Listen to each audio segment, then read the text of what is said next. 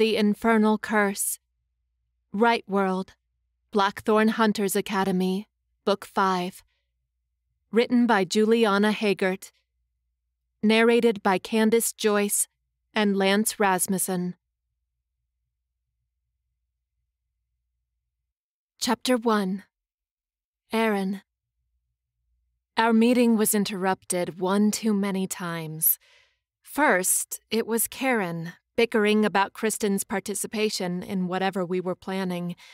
Then it was Jasmine talking about her piece of the underworld, which was what had been promised to her when she joined us.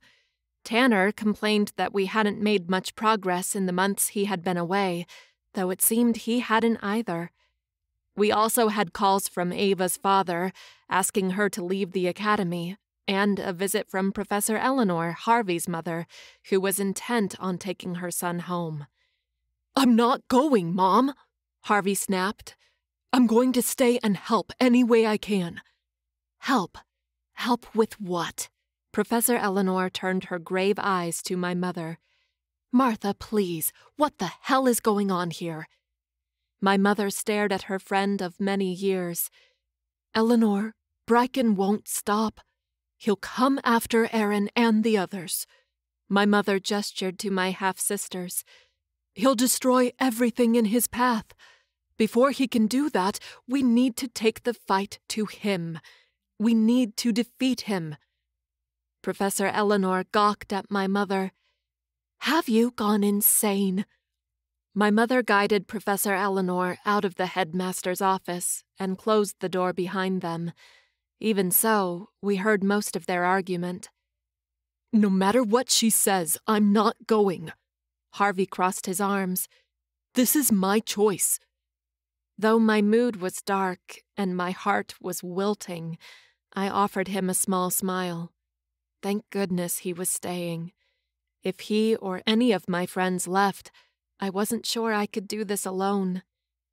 A moment later, the shouting stopped and my mother entered the room again. So?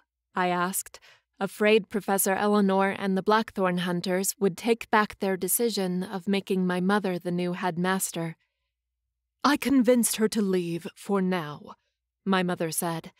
She turned to Harvey. But she won't give up. I'm sure she'll see you later, or even come back and try to drag you home. It's okay, Harvey said, his chest puffed. I'm an adult, and I'm paving my own path. She can't tell me what to do anymore. I frowned. The Hunter Society didn't really think that way. Usually, the parents had control, or at least a heavy hand, on their kids' lives until they graduated from the academy, which happened when they were 21, 22 years old. But I was glad Harvey was sticking by my side. Rey would be proud of his friend. Rey. A pang ran through my chest, and I inhaled sharply. Every time I thought of him, pain assaulted me, deep and unrelenting. Damn, how I wanted to stop everything and go after him. I glanced at my mother. Although I wouldn't mind going after him right now, I knew my mother was right. When King Brikan revealed himself after the shadow trials a couple of days ago, he had tried to convince me to join him in the underworld, to become evil like him. When I refused, he spelled Rey and took him to the underworld. According to my mother, Rey was too valuable to my father. He was bait for me. King Brikan wouldn't hurt Rey until I showed up. That didn't erase the unease and the urgency I felt. I wanted to go after Ray right now. What now?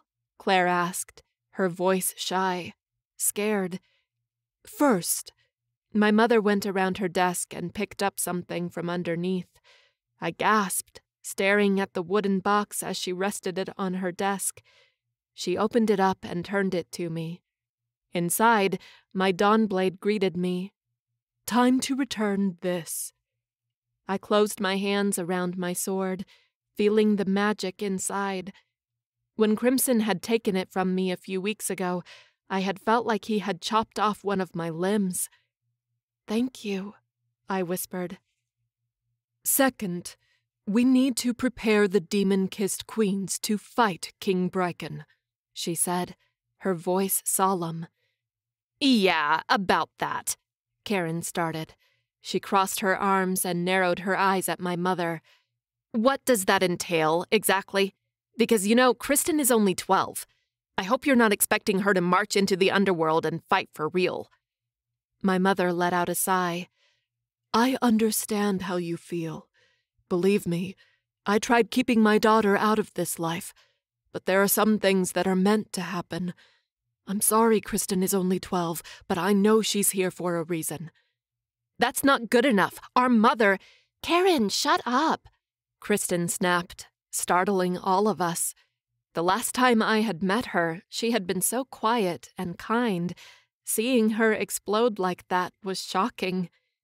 Sorry. Her shoulders hunched. Now I could see the girl I met before. It's just. Can't you see this is important? It's dangerous, but it's important too. I want to do this, please. But. Karen sighed. Let her do it, Katrina said. I had barely heard her speak before. If you don't, she'll run off and do it anyway. Kristen nodded. Karen's anguish was written all over her tense posture and the pinch in her nose. With another exasperated sigh, Karen retreated and sat on one of the chairs around the meeting table on the other side of the room. Kristen stood tall, how do we prepare to fight King Brikan? My mother's lips curled up for a brief moment, probably feeling proud of my little sister. But then she grew serious again. I don't know, but I know who can tell us. She shifted her gaze to me. I worked all winter break to find out where Fiona was hiding. So that was why she was sneaking out of our apartment during winter break. I finally found her a couple of days ago. My jaw dropped. You did? Where is she? In VA, my mother said. She looked at all of us. We're leaving to meet her in 30 minutes.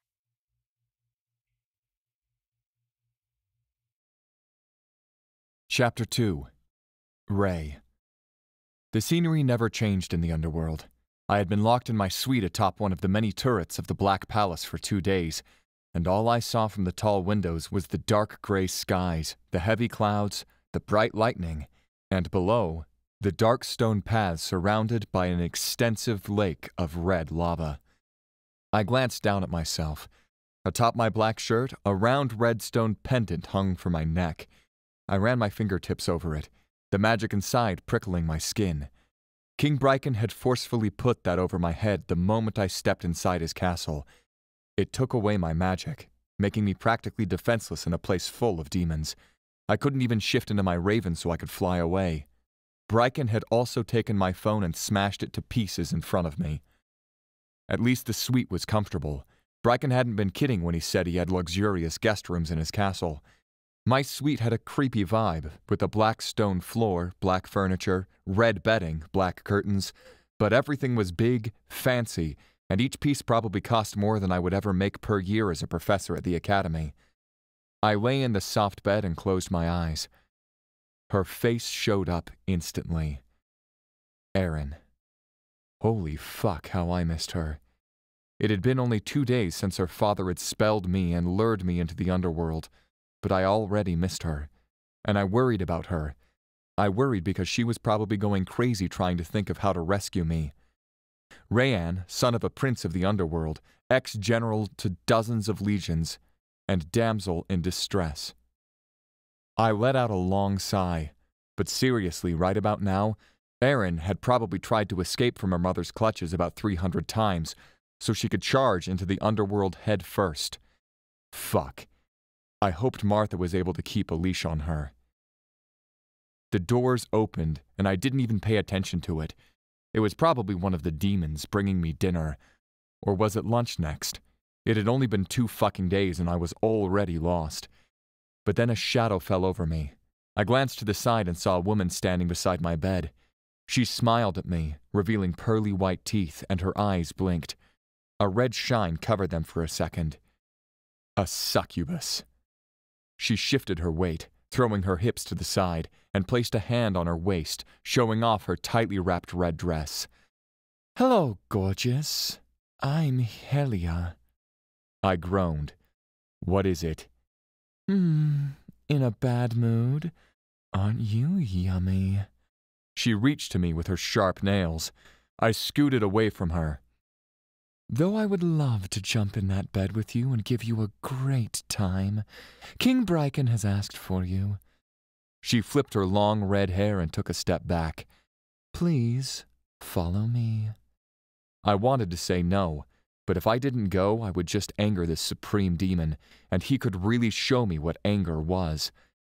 I sighed and shot up from the bed.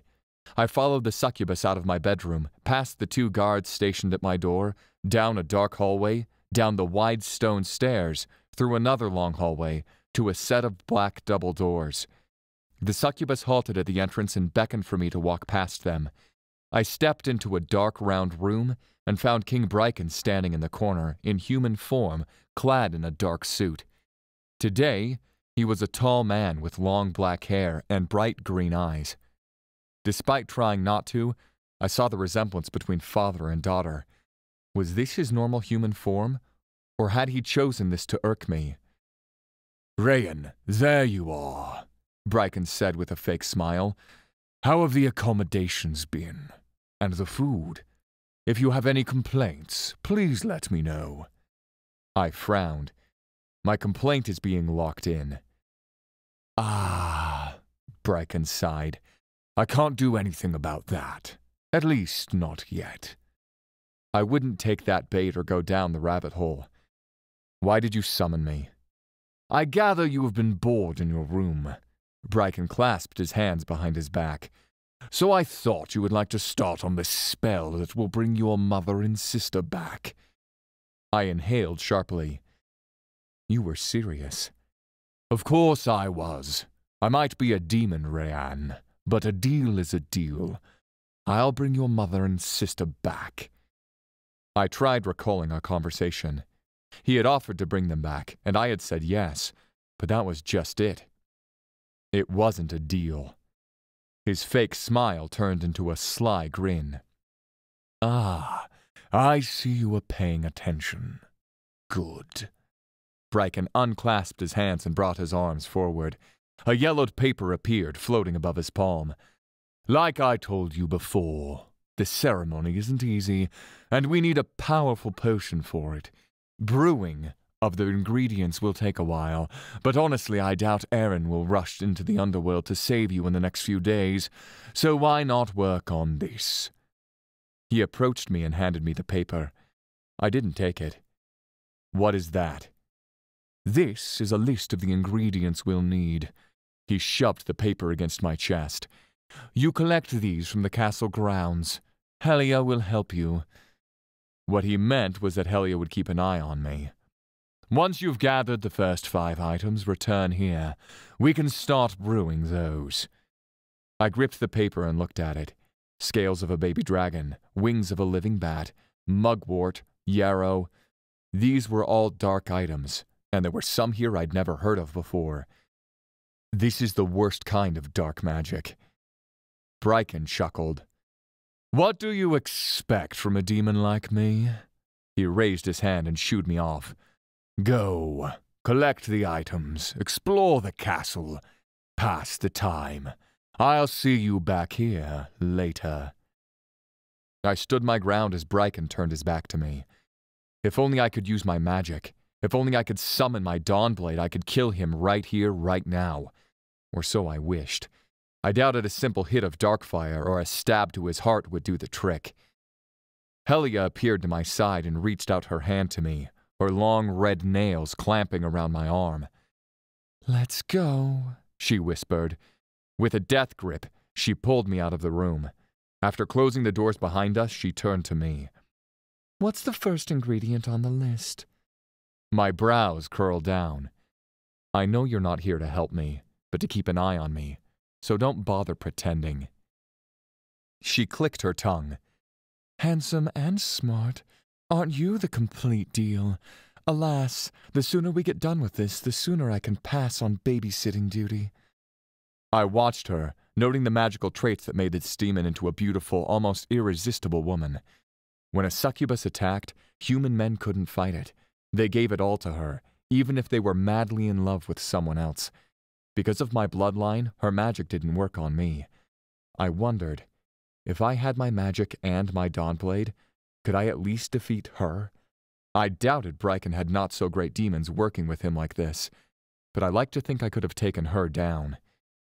Scales of a baby dragon, I told her. I also wanted to do this fast, but not to get rid of her, or because I wanted to get this spell done at once, though both were valid excuses, but because this would be an opportunity. That's at the apothecary, she said, marching down the hallway. I bet you'll find most of the ingredients there. I followed as she led me through the castle, and I worked on memorizing it, on noting how many demons and guards were inside and stationed where, and searching for a clear exit.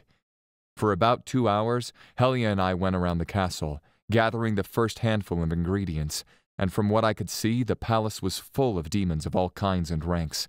Powerful guards were stationed in hallways and at the exits, which were few and heavily protected. The little hope I had of finding a way of escaping died. Until Helia took me to the top of the tallest turret, where we caught a live bat needed for the spell. We had encountered guards along the way, but there had been none besides the last door. Pretending to look at the red and hot scenery outside, I leaned over the rail and glanced down. Some tiles and decorations jutted out of the sides of the castle. It wouldn't be easy to scale down it, but this had been the only way out I had found so far. I knew for a fact that beyond the dark path disappearing onto the black mountain in the horizon, just outside of Brikan's private estate, was one of the portals located in the underworld. I had used that one before. Careful, gorgeous, Helia said. If you fall from up here, you'll certainly die. Oh, I was sure of that, but I wasn't planning on falling.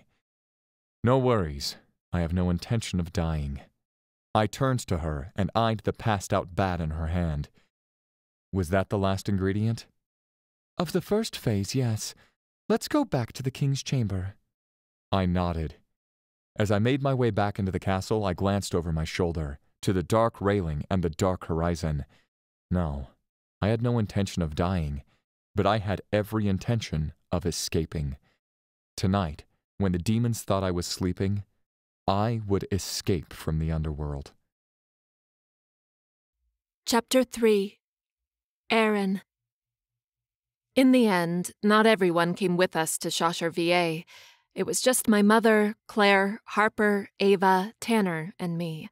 Harvey said he had something to do. Jasmine had no interest in participating in the preparation for the fight, just the actual fighting and later the looting and Karen thought Kristen should stay out of everything she could. I knew that if she could, Karen would stop Kristen from fighting with us. If she did that, then everything would be in vain. Although I hadn't the connection they had, and probably never would, Kristen was my sister too. Obviously, I didn't want her getting hurt, and I would do everything in my power to protect her. Karen could just chill a little. Because of Brikan's attack, Shosher VA was practically closed. Blackthorn hunters formed a barrier at the entrance of the town, not allowing tourists in. Thankfully, they knew my mother and had no problem letting us pass. I glanced around, shocked to see the town so empty and quiet. But my shock grew once my mother brought the SUV she had taken from the academy into Francine's driveway. Harper's grandmother. Why are we here? I asked my mother as we exited the car. Does Francine know Fiona? Harper gasped. No, she would have told us. My mother opened her mouth to say something, but Francine beat her. Hello, my dears. We turned toward her voice. She was standing in front of her open door, holding a tray with her delicious honey cookies. She smiled at us. Come in. Harper rushed in front of us. Grandma, do you know Fiona? She asked as she entered her grandmother's house. We stepped in right behind her. Francine put the tray of cookies on the coffee table in the living room. Then she faced her granddaughter. My dear, I'm Fiona. My eyes bugged. My muscles went rigid. What? I glanced from Francine to my mother. You knew? My mother shook her head. Not until a few days ago. She pointed to Francine. I came to her, and she agreed to see you. As Fiona, Francine said. I shook my head. Holy shit, this was confusing. Fiona was my name when I was a Wildthorn witch. I changed it when I joined the Hunters. Only a handful of people knew the truth. She tilted her head, her eyes landing on each of us. Well, more than a handful now. She gestured to the couch beside her. Come on now, you know me. I won't bite. My mother marched ahead and took a seat in one of the armchairs around the coffee table. Harper was the next one, dragging her feet until she was right beside her grandma. I didn't know. Because I hadn't told you yet. Francine, or Fiona, pushed Harper down on the couch, then gestured for Claire, Ava, Tanner, and me to join her. The three cushion couch was a little snug with the four of us sitting on it. Tanner sat on the couch's arm, but I was too worried about other things now. I looked everywhere for you, Tanner said, staring at Fiona with round eyes. If only I had known you were so close. My brows knitted together. Why didn't you tell us before? Because it wasn't important, she said, taking another one of the armchairs. What did she mean it wasn't important? First, you had to find your sisters. Now that you're together, I can tell you about the prophecy, about the curse, and about the bond. I jerked my head back. What? Prophecy, curse, and bond? They are all the same thing? No. Fiona shook her head. They are all different. The demon kissed queen's prophecy, the infernal curse, and the soul bond. The soul bond? What are you talking about? Let's get to it, Fiona said, sounding younger and more energetic than I had ever seen her before. I know you all want to know about the demon kissed queen's prophecy. Right, my mother said in my place.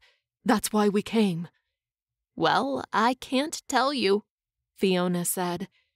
Why not? I asked, incredulous. Because you don't need to know about it yet. Besides, to make it really work, you and your sisters will have to come together Overcome your differences and figure out what the prophecy means by yourselves. Otherwise, it'll be weak and it might not work. What the hell did that mean? But as for the infernal curse, she continued, not letting me finish, that's the name of the spell you'll need to defeat King Brikan. Only once you and your sisters master using your magic together will you be ready to perform the curse and face the supreme demon. The infernal curse? I asked. I haven't heard of it. It's not common knowledge. Otherwise, everyone would try to use it to defeat King Brikan, even though the spell is useless if not performed by the three demon kissed queens. Fiona frowned. No one is eating, she picked up the tray and passed it around. Please eat. I made them for you. Everyone snatched a cookie or two from the tray, but nobody ate them. So, what is the infernal curse? How do we learn it? I asked, playing with the cookie in my hand. This cookie was seriously delicious, but I was so worked up I couldn't eat it. I'll teach you, Fiona said, resting the tray over the table once more. We'll set up a day and time, and I'll teach it to you and your sisters. That would be a big help, my mother said, sounding relieved. Thank you, Fiona. My pleasure. She zeroed her big eyes on me. I know you came because of the prophecy and the curse, but I also know you wanted to ask me, Fiona, about something else. Go ahead, ask me. I gulped. How the hell did she know all that? I stole a glance at my mother, hoping she didn't get too mad at me about my question. Mm, I want to rescue Rey, and I want to ask you if you can help me. There it is. She slapped her hands on her knees. I can't help you enter the underworld and go after him as you're imagining, but I can help you with the next best thing. Which is? Remember the third one I mentioned when I started this conversation? She asked. She lifted her index finger. The demon kissed queen's prophecy. She lifted her middle finger. The infernal curse. She lifted her ring finger. The. The soul bond, I said with a gasp. What did you mean by that? Only a powerful magical bond will be able to keep him sane enough and bring the two of you back together, she said. An invisible hand clutched at my heart. Keep him sane enough? What the hell did that mean? That's the soul bond. But we destroyed it months ago. She nodded. There might be a way to restore the soul bond.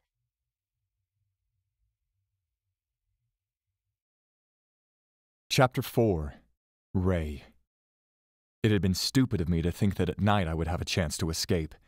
As it was, most demons never slept, and the palace was crawling with them just as much as during the day. Not that I could discern by looking at the view outside. I only knew what time it was when I looked at my wristwatch. But at least, since we started brewing the first phase of the spell, King Brikan had told me I could walk freely around his castle. Although freely meant either with Helia, or with two other demons trailing my every step. They would probably follow me to the fucking bathroom. So in the middle of the night, I pretended to have insomnia and a sudden need to walk around aimlessly. The two guards, Ugly One and Ugly Two, followed me as I roamed the castle, looking for another escape route, and then, when I realized there was really no other way, to the top of the tallest turret. The bats still flew low here. I waved my hand above my head, shooing them off as I made my way to the ledge of the tower. I leaned over the metal rail, looking at the ground, very distant from here. Helia was right. If I fell, there was no way I would survive that. Better not fall then. Careful! Ugly One snarled. I'm just looking, I said. With exaggerated movements, I stretched my arms wide, as if I was yawning, and leaned over some more. Pretending to lose my balance, I yelped and fell out over the rails. I swiped at a stone jutting out the stone wall and swung myself down to a tall window with a wider ledge. Ugly One and Ugly Two yelped and rushed to the rail. They spied over the edge and yelled curses at me. I'll kill you! Ugly One roared before running away. I was sure they were coming this way, going down the stairs, in the hopes of finding me in the window which meant I had to move fast. I swung down to another stone detail, and then another, slowly going down. The muscles of my arms, shoulders, and back screamed at me. I might exercise a lot, but scaling a giant wall and relying a lot on my arms was new. If I didn't fall to my death, I would be so fucking sore after. My escape didn't go unnoticed for long. Besides Ugly One and Ugly Two, who had probably alerted half the castle about what I was doing, demons on the ground had spotted me. They shouted at me. And then they threw dark fire at me. Fuck, I mumbled as I tried to go faster, to swing from ledge to ledge faster. I blocked my mind from thinking what I would do once I arrived on the ground. Confront all these demons? This plan had been rashly put together and rashly executed, all because I couldn't stand being here anymore. I jumped to another window, but as my foot found purchase on the wide stone ledge, a dark fire bolt grazed against my side, throwing me off balance. I lost my grip on the stones, and I fell. Fear clutched my chest, and all I could think about was that I would die and never see Erin again. Though I could barely breathe with a despair raging inside of me, I closed my eyes and accepted my fate. I suddenly stopped. I opened my eyes and found myself floating in midair. From one of the lower castle balconies, Brikan stood, his hand extended toward me. He closed his hand and pulled his arm back. Like a feather whirling in the wind, I swam in the air until I was standing right in front of him. Brikan put me down. My knees buckled with the sudden drop, and I almost fell at his feet. I stumbled back, gaining some distance from the king of the underworld. Brikan's eyes darkened. Oh, Rayan, he tisked.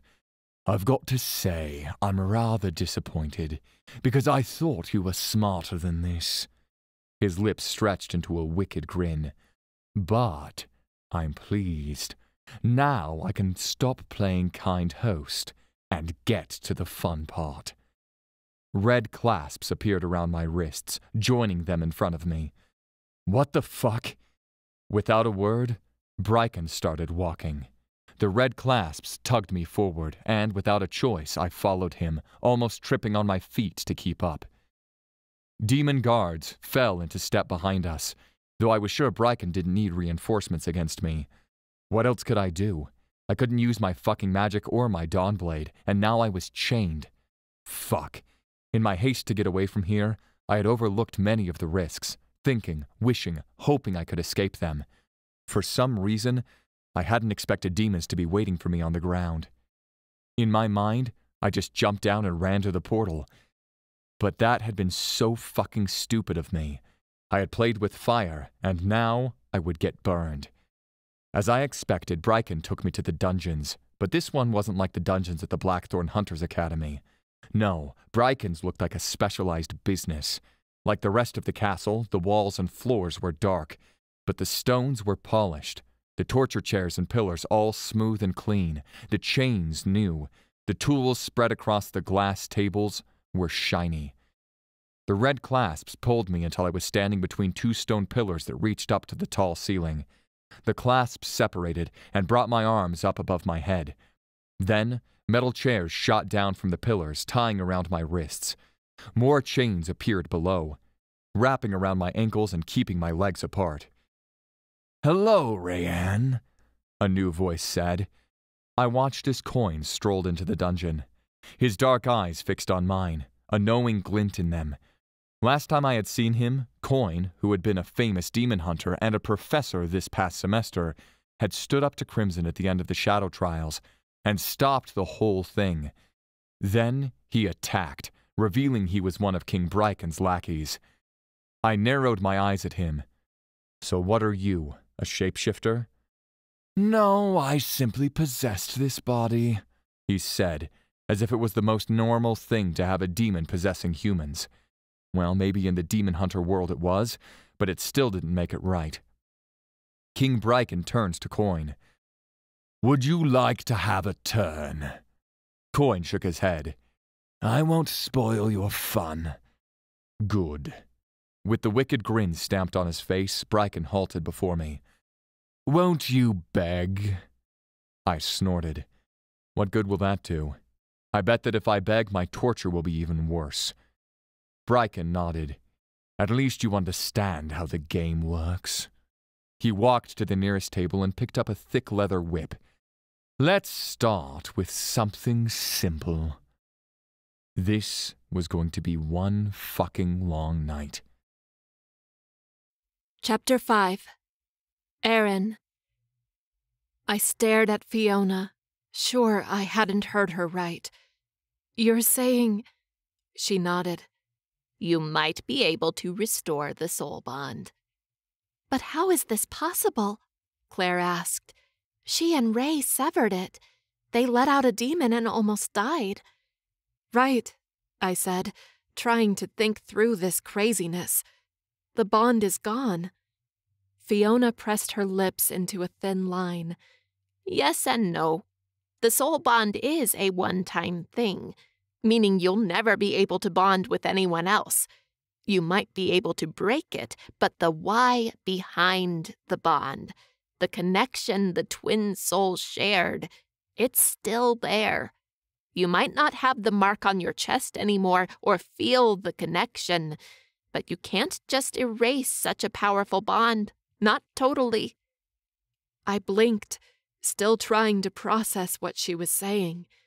So, You mean Rey and I are still soulmates? Fiona nodded. This was unexpected, but good. I liked the idea of being connected to Rey again. All right, so if I were to restore the bond, what do I have to do? You'll need to summon a more powerful being, Fiona said. An angel this time. You need to convince the angel that you're doing this for the right reason and not selfish ones. You need to prove it. That should be easy, I said. Nothing was more right than my love for Rey. Fiona shook her head. I haven't heard of many people trying to restore a soul bond before, but the ones that I heard about failed. It has never been done before. Well, it shouldn't be too bad, right? Ava asked, eyeing us. If she fails, then we go to Plan B. Wait, my mother raised a hand. What happens if she fails? Fiona hesitated. Then the angel will take her life. Oh, never mind, Ava muttered. This is too risky, Harper protested. I agree, Claire said. We can't lose you. Tanner tisked, shaking his head. That's it, then, my mother said, slapping her knees. We forget about restoring the soul bond and move on to learning the infernal curse. How does. No! I started. They all stared at me. I want to do it. I'll do anything to help bring Rey back. I don't care about the risks, because I'm sure it's going to work. Deep in my heart, I had always considered Rey my soulmate, with or without a bond to connect us. We had been made for each other. Confident, I fixed my gaze on Fiona. What do I have to do? You need to go into isolation for a few hours, perform a cleansing ritual, and meditate, thinking about what you'll say to the angel. Then, at the same place you severed the bond, you summon the angel and ask him to restore it. I frowned. Just like that? Just like that. It seemed simple enough, but nothing so far had been simple. Everything turned out to be way more complicated. This, too, wasn't going to be easy, I was sure. But it didn't matter. For Rey, I would do anything. After Fiona's instructions, my mother took us back to the academy. On the way, she tried to convince me that I was being stupid for trying to restore the bond. We'll figure some other way of helping him, she said, her voice laced with concern. Claire, Harper, and Ava joined her, saying it was too risky. I had to think of the bigger goal. If I died trying to restore the bond and failed, then Brikan would never be defeated. I reminded them that someone else would show up with the mark after me, like before there was Cindy and Brienne. There would always be someone. They just had to look for it. Erin, please, this is ridiculous, my mother continued. I shut them down right there and then. Nothing you say will convince me not to perform the ceremony. When we got to the academy, I told them I would do the cleansing ritual right away. They should get ready because once I was back, we would perform the ceremony. I thought my mother would argue with me some more, or maybe even hold on to me so I couldn't go. But she stared at me, her eyes saying more than her words. It didn't matter. I wasn't going to change my mind. So, with Rey in my mind and heart, I went to the forest, my boots crunching on the dried grass, recently emerged from underneath the snow. The wind whipped at my hair, still too chilly for my taste, ruffling the leafless branches of the trees. At what I thought Fiona would think was a nice spot, I cleared some of the snow that still hadn't melted away, spread the crystals Fiona had lent to me in a small circle, and sat in the center on the hard grass, my legs crisscrossed. Following Fiona's instructions, I inhaled deeply and cleared my mind. Instantly, the crystals hummed. They were active. The ritual was on. And I was one step closer to rescuing Rey.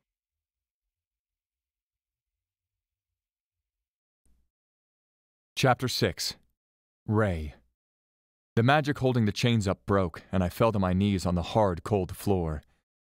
Enough for now, Brikan said, wiping his hands on a black towel.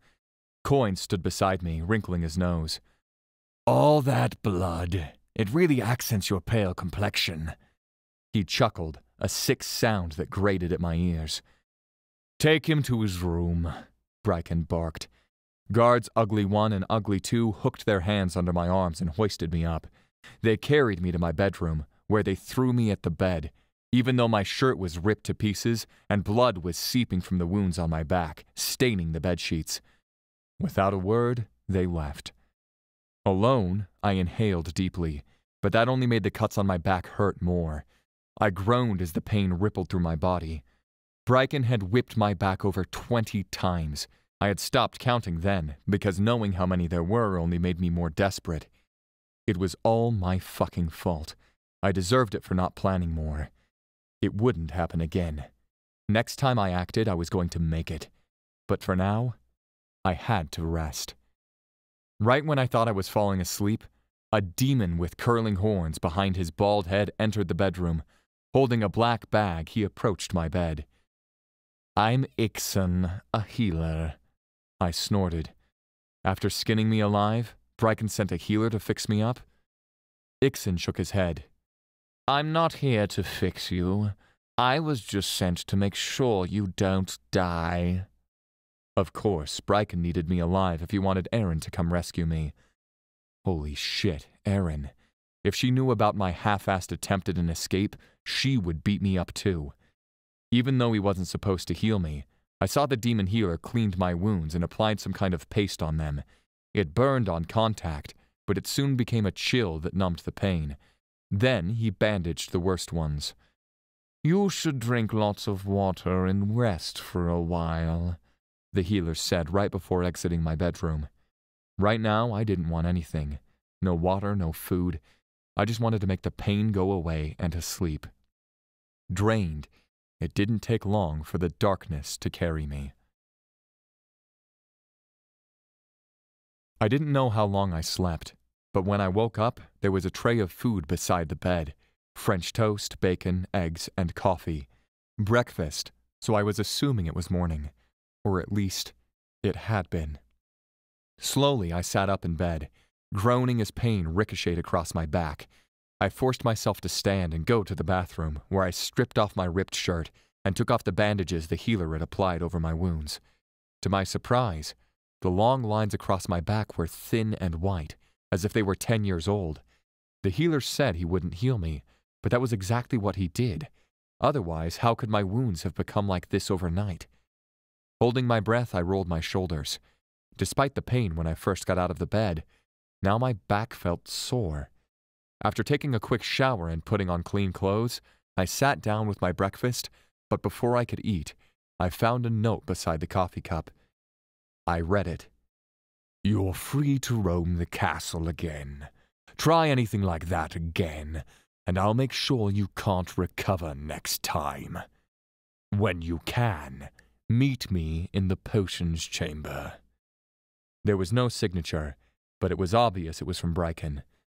I ate my breakfast and went to the potions chamber, followed by Ugly One and Ugly Two. When I got there, a demon knelt in front of Brikan, and Coin stood a few steps back. I paused at the entrance, feeling like I shouldn't be here. You, Brikan groaned. I'm surrounded by incompetent demons. That's the only explanation. I'm sorry, my king, the demon uttered, his voice trembling. I promise it'll never happen again. I've heard that before. Brikan raised his hands and let them fall. An invisible knife cut across the demon's skull, severing his body in two. The two pieces fell to the ground, blood spreading wide in a shallow pool. My stomach turned with the sight. Brikan snapped his fingers and it was all gone. The body, the blood, the mess. I stared at him, both in awe and fear. Here was the devil in flesh, the worst soul ever to exist, and the most powerful. I couldn't play around with Brikan. I had to be more careful. Rayan is here, my king, Ugly One announced. Brikan raised his eyes to me and showed me one of his wide, fake smiles. I see you're feeling better.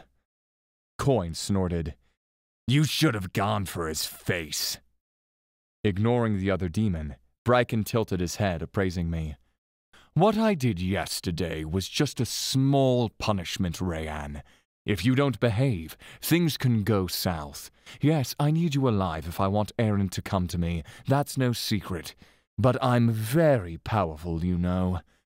He leaned forward and lowered his voice, as if he was telling me a secret. I can kill you, and then do a spell so she believes you're still alive. He gestured to Coin. Or I can have a demon possess your body. Simple. Coin licked his lips, clearly eager for that option. Fuck. Inhaling deeply, I walked closer. Did you want to see me? It killed me to ask him this, as if I was one of the thousands of demons who worked for him, who cowered at the mention of his name. I did. He gestured to the table behind him, crammed full of vials, tubes, bowls, and equipment. Despite everything, I'm not a liar, Rayan. The potion for the spell is almost ready. I frowned. You said it would take a long time. He shrugged. I might have infused some of my magic in it to speed up the process. He walked around the table and gestured to something there. I followed him and saw a stone box, much like a small tomb. Inside were several, if not hundreds, of gray bones. What is this? I asked, dreading the answer. Your mother's and sister's bones. He looked at me, his dark eyes twinkling. Tomorrow we'll perform the spell and bring them back. Chapter 7 Erin Early the following day, Fiona came to the academy and we met in the courtyard where the blackthorn tree was located. Even though it wasn't required, everyone had come to support me. Claire, Harper, Ava, Harvey, Jasmine, Kristen, Karen, and Katrina. The only one who was here but was clearly against this was my mother. Again, she tried to talk me out of the ceremony, Erin, please listen to me, she said again. I'll find another way to protect Rey, to find him, to bring him back, whatever. Just don't do this. It's too risky. Under the tree, I turned to her. Mom, I'll say this one more time. Stop, or I'll ask Fiona to cast a spell on you, to either keep you back or freeze you until this is done. Or you stay quiet and watch like the others. It's your choice. My mother glanced at Fiona, who was standing a few feet behind me, her eyes begging. But Fiona didn't relent. She knew I had to do this, and nothing would change my mind. I don't want to spell you, Martha, Fiona said, serious.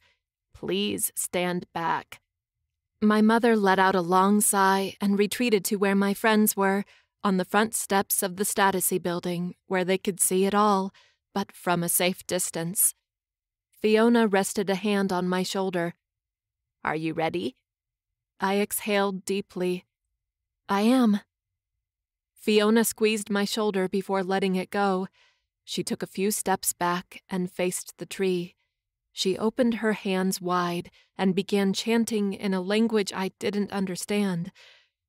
A moment later, the air vibrated, the ground trembled. An explosion of light blinded me for an instant. When I was able to open my eyes again, an angel hovered in midair. A beautiful female angel, with long blonde hair, silky skin. She wore a white gown, a thin golden tiara around her forehead, and had wide, graceful white wings. Light seemed to emanate from every pore and every feather. A sense of calm and righteousness fell over me. The angel looked down at me with bright blue eyes. Who dares to summon me? Her voice was strong and gentle at the same time. I puffed out my chest. I did. What for? I have a request. Please, restore the soul bond I used to share with Rey Lowe. Rayan, son of Prince Asmodeus, and Erin, daughter of King Brikan, twin souls, soulmates indeed. She appraised me. How will you convince me to grant your request?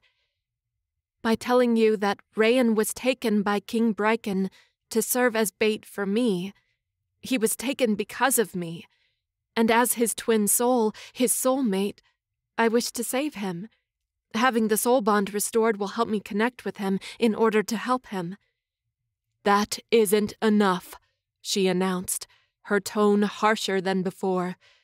I believe you're trying to restore the bond because it's too painful to live without him, and you just want him back to make you happy. Therefore, it's a selfish wish. No, that's not true, I shouted. The angel whirled her hand, and a long silver sword appeared in her grip. Prepare to die. The angel raised the sword high. Screams reached my ears, but I shut them out. I had done this. I had risked my life to save Rey. If given the chance, I would do it again. I lowered my head, accepting my fate. But before I died, I whispered, I don't care if I die. Right now, all I want is to save Rey. Even if I die, I need to make sure he gets home safely. I waited for the sword to drop, my stomach tense, my mind reeling, a little afraid of feeling any pain. But it never came. When I dared look up, the angel was right in front of me. She had put the sword away, and her feet were on the ground. Now that is selfless, she said with a faint smile. You care about Rayan more than you care about yourself, as you're willing to give your life for his. That's the real meaning of being a soulmate.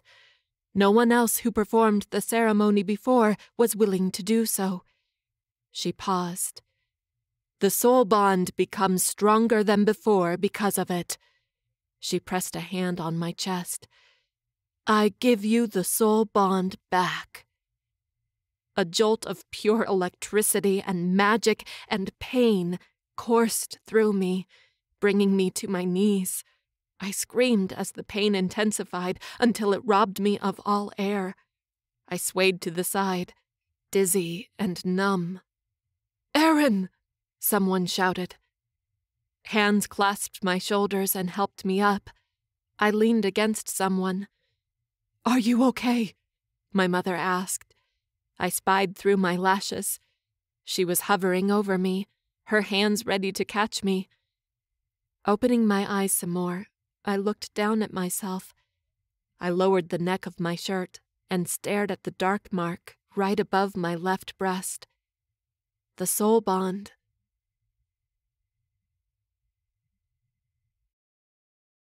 Chapter 8 Rey A sharp pain on my chest woke me up.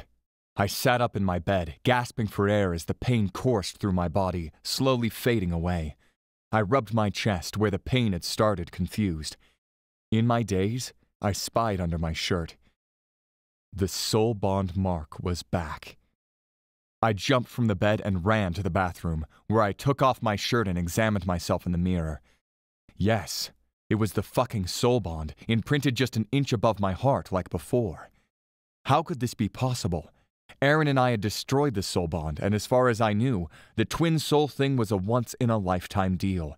I wouldn't find another soulmate, because even though the bond had been destroyed, Erin was and would always be my only soulmate. Then what the fuck did this mean? That our soul bond had simply come back? It didn't make sense. But I chose to believe. I chose to hold on to this. If the bond had come back, then it had to mean something.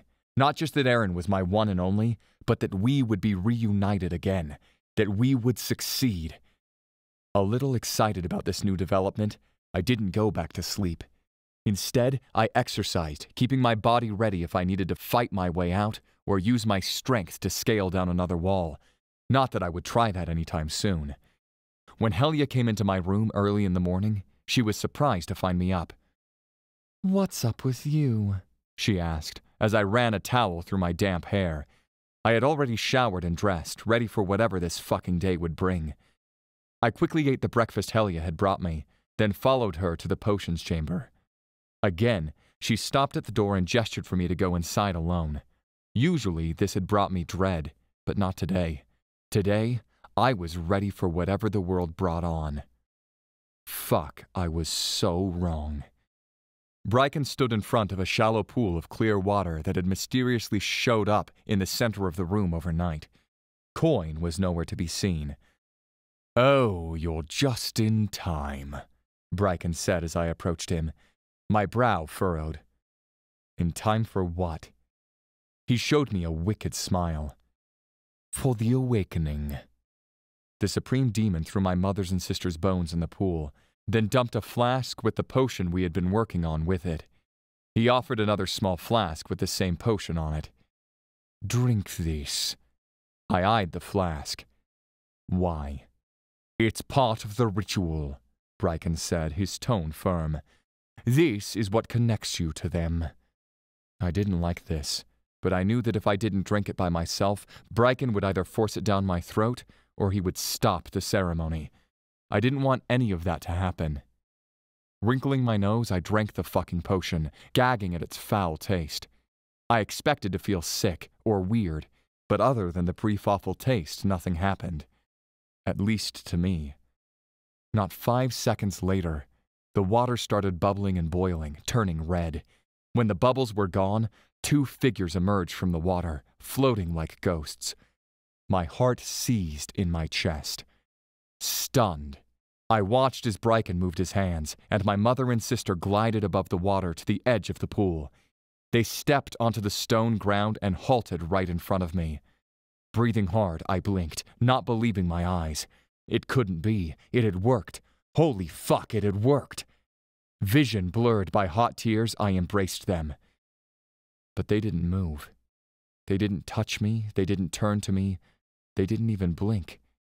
They stood there, staring ahead like lifeless dolls. I turned to Brikan. What the fuck is this? Brikan shrugged. I said I could bring them back. I didn't say how. What the? Rage coiled in my core.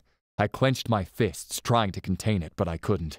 After all he had done to me, robbing me of Erin, using me as bait to catch her, torturing me, and now tricking me with the lives of my mother and sister, I couldn't contain it.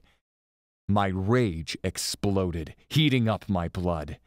I marched to him and grabbed the collar of his shirt. What did you do? Brikan let out a hollow chuckle. I've brought back their bodies, but I can't do much about their souls. I dropped my hands from him, shocked. What the fuck had he done? So, I glanced over my shoulder to the bodies of my mother and sister. They aren't alive? Brikan smoothed out the collar of his shirt. Not in the same sense you are. My rage came back in full force. I punched him in the jaw. Brikan's head snapped to the side. I was ready to go again, but he raised his hand and magic wrapped around me, making me still. I fought against his power, but it was in vain. I couldn't win against him, not like this. I'll kill you, I shouted, because it was all I could do. Right. Brikan ran a hand over his jaw, as if checking if it was all right. Though the punch had brought me brief satisfaction, I knew I couldn't really hurt him. He was checking himself for show. I was going to leave them like this for your sake, but since you're misbehaving again. Brikan waved my mother and sister off. Like obedient robots, they turned around and stepped into the pool. They went down as if the pool was several feet deep. They were gone. A sob rose to my throat, but I swallowed it. I wouldn't cry in front of him.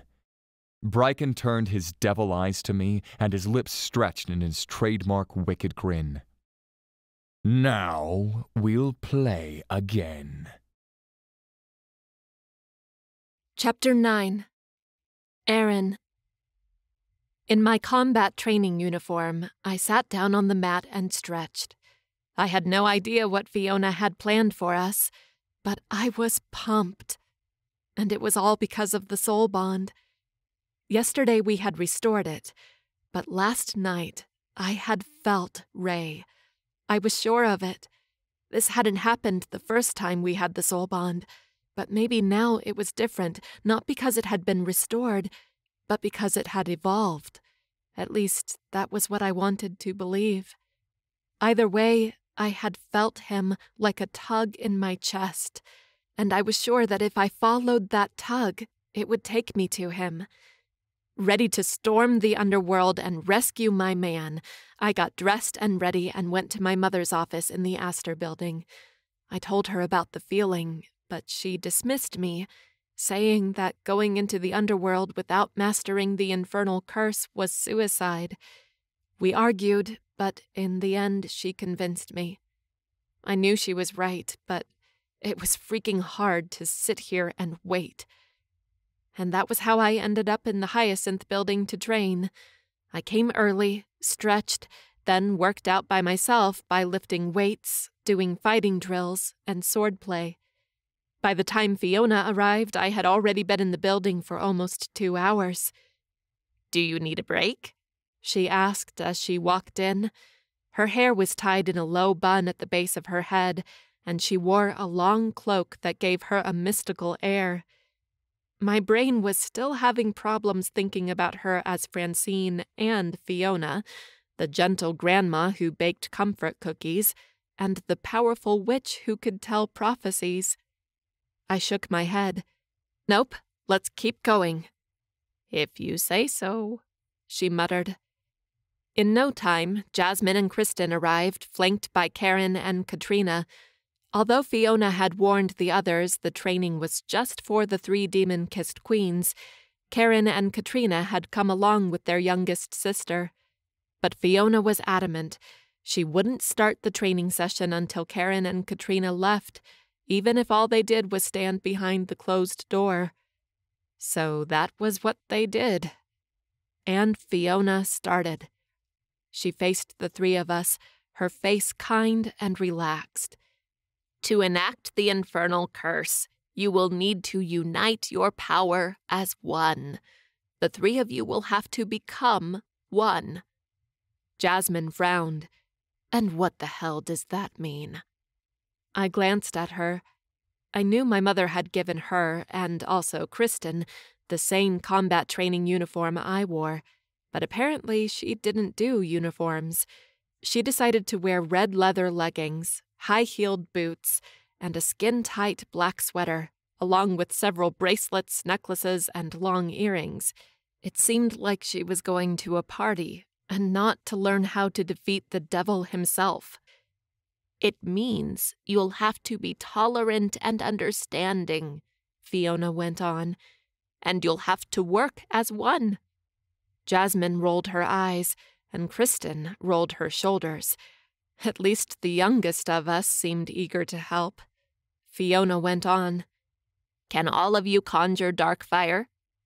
I raised my hand in front of me and summoned a bolt of dark fire in my open palm. Jasmine did the same, though she purposely made her bolt bigger than mine. Kristen brought her hand up. She frowned, focusing on her magic, but just a spark appeared in her palm before fading away. I've never done it, she confessed, her voice low. Holy shit. I didn't want to be disappointed in the girl, but not knowing how to even conjure her power set us back. It's okay.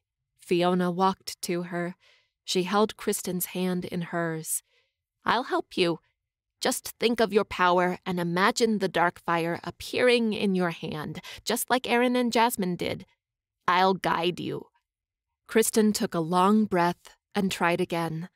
With Fiona's help, the dark fire shone bright in her hand. The young girl grinned. I did it! Jasmine tisked. With Fiona's help. It's okay. Fiona said. I helped you, yes, but now you know how it's supposed to be, how it's supposed to feel. You'll be able to do it alone now. She stepped back, letting go of Kristen's hands. Try again. A knot appeared in Kristen's brow as she focused and tried to conjure her dark fire. I thought she wouldn't be able to do it, but after a few seconds, a spark appeared in her hand, and it slowly grew into a perfect bolt of dark fire. I did it! she cried, smiling wide. Good job, I said, matching her smile. Great. Now we can continue, Fiona said, drawing our attention back to her. Conjure your dark fire. We did. Fiona pulled a tall, heavy bag from the side and placed it across the room. Aim it here. She tapped the center of the standing bag. But before you throw it, unite your dark fire. The bolt flickered in my hand. How? Meet in the middle, Fiona said as if that made sense. As you throw it, think about uniting it along the way, converging all that power together. The bolts should start as three, but find their target as one. It shouldn't be hard, Jasmine said, her voice flat. She was already bored. Let's just do it. Fiona pressed her lips together. All right. Are you ready? We nodded. On three, throw the bolts. She stepped to the side, giving us space. One, two, three. We threw our dark fire to the target. Jasmine's and mine hit the target, though they didn't converge together. In fact, mine hit the target before hers. As for Kristen's, the girl wasn't used to aiming and hitting her target. She missed it by a few feet hitting the wall on the back and leaving a black burn on the white paint. I'm not good at this, Kristen said, her voice trembling. Obviously, Jasmine snapped. How do you plan on fighting the king of the underworld if you can't even hit a goddamn target? Hey, I called out. She's never done this. Give her a break. A break? Jasmine glared at me. I want to get this over with if you haven't noticed.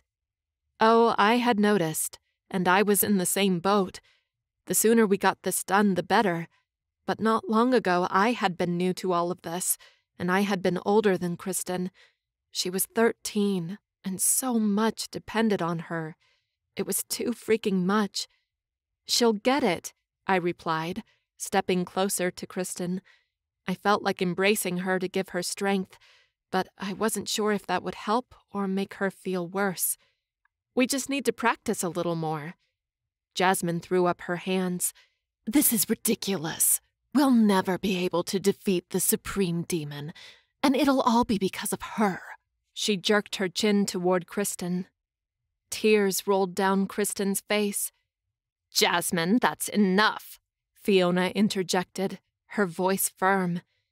The door opened, and Karen and Katrina stepped in. Once they saw Kristen crying, they acted. Katrina ran to Kristen, and Karen turned to Jasmine and me. What did you do? She barked, in total mama bear mode. She'll be okay. She's weak and can't do it, Jasmine said, interrupting me. The way it's going, she'll be the first to die when we face our father. Jasmine, I cried, shocked by her lack of manners. I said that's enough. A ripple of magic ran through the room, and we all turned to Fiona. Karen, Katrina, everything is okay. The training will be hard, and the girls will be stressed every once in a while. Kristen will practice more, and I'm sure you'll be as good as the others in no time. Jasmine, you're out of line. Behave, or I'll be the one facing you. Jasmine snorted. I didn't sign up for this. She stomped out of the practice room and slammed the door behind her back. Damn it, Kristen sniffed. We need Jasmine, but now she's mad because of me. Don't worry, my dear, Fiona said. She'll come around, you'll see. I turned to Fiona. What about if I practice with Kristen? While Jasmine cooled off, we could train and get her up and running. We can take a quick break now to regroup, and then I can start her on small, simple spells so she can learn to call her magic and use it. Fiona nodded. That sounds like a good idea. She let out a long sigh. And I'll go talk to Jasmine. She patted Kristen's shoulder.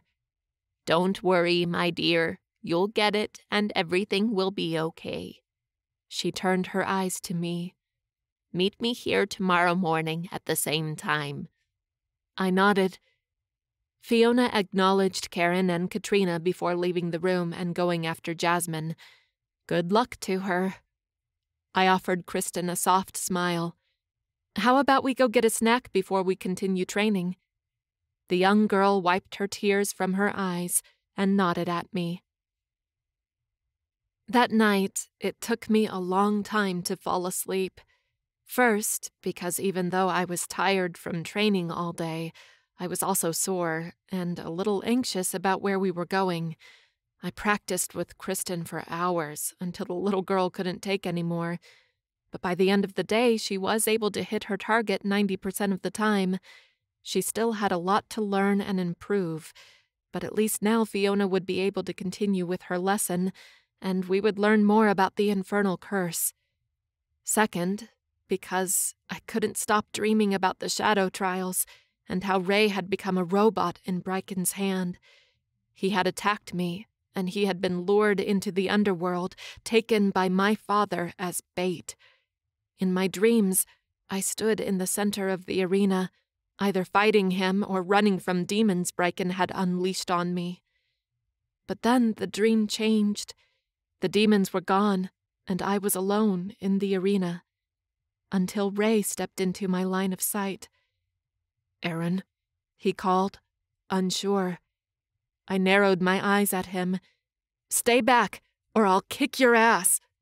He raised both his hands in a peace gesture. I'm not under his control now. He looked around, then his eyes fixed on mine again. I think this is a dream. I nodded. This is my dream.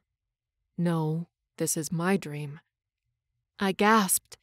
Could. Rey's gray eyes widened. You mean this isn't a dream? My heart accelerated, and I dared taking a step closer. But Rey didn't hold back. He ran to me and wrapped his arms around me, pulling me tight against him. He buried his face in my neck and whispered, this is not a dream.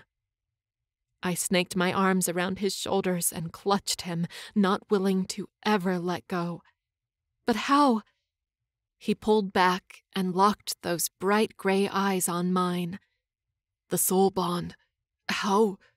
I restored it, I said, feeling immensely proud of it. How? Fiona helped me. Wait, you found Fiona? I nodded. I did. And I have Jasmine and Kristen with me. Things aren't going as smoothly as I would like, but we're training to take down Brikan. A deep frown appeared between his brows. Erin, he's too strong. Please don't rush in here if you're not 100% ready. I ran my hands around his shoulders. Don't worry, we'll be ready, and I'll rescue you. I slid my hand down his back. Wait, What's this? I stepped out of his embrace and lifted his shirt, spying his back. There were several thin white lines across his skin. What happened? Rey turned, pulling down his shirt. Well, I haven't been exactly quiet. I tried to escape, and last night I punched your father. My stomach dropped. Wait, but I thought. I thought he wouldn't hurt you because you're my bait. Rey chuckled, a hollow sound.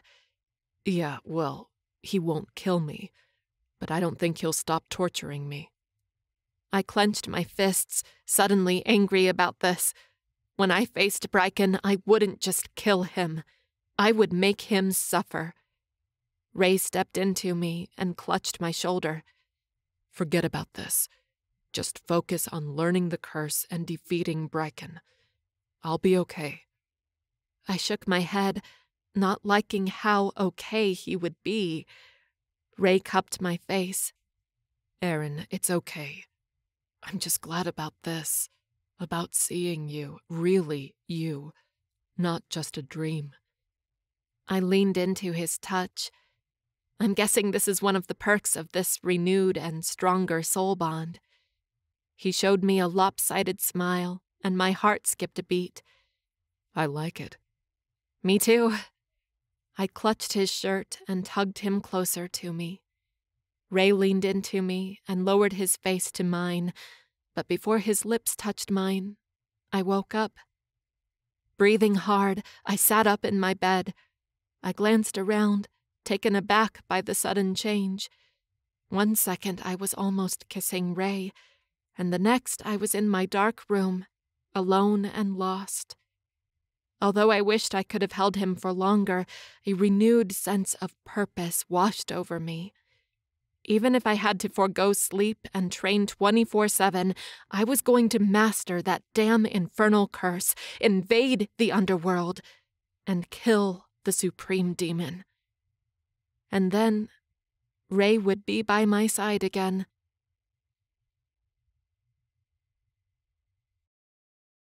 Chapter 10 Rey.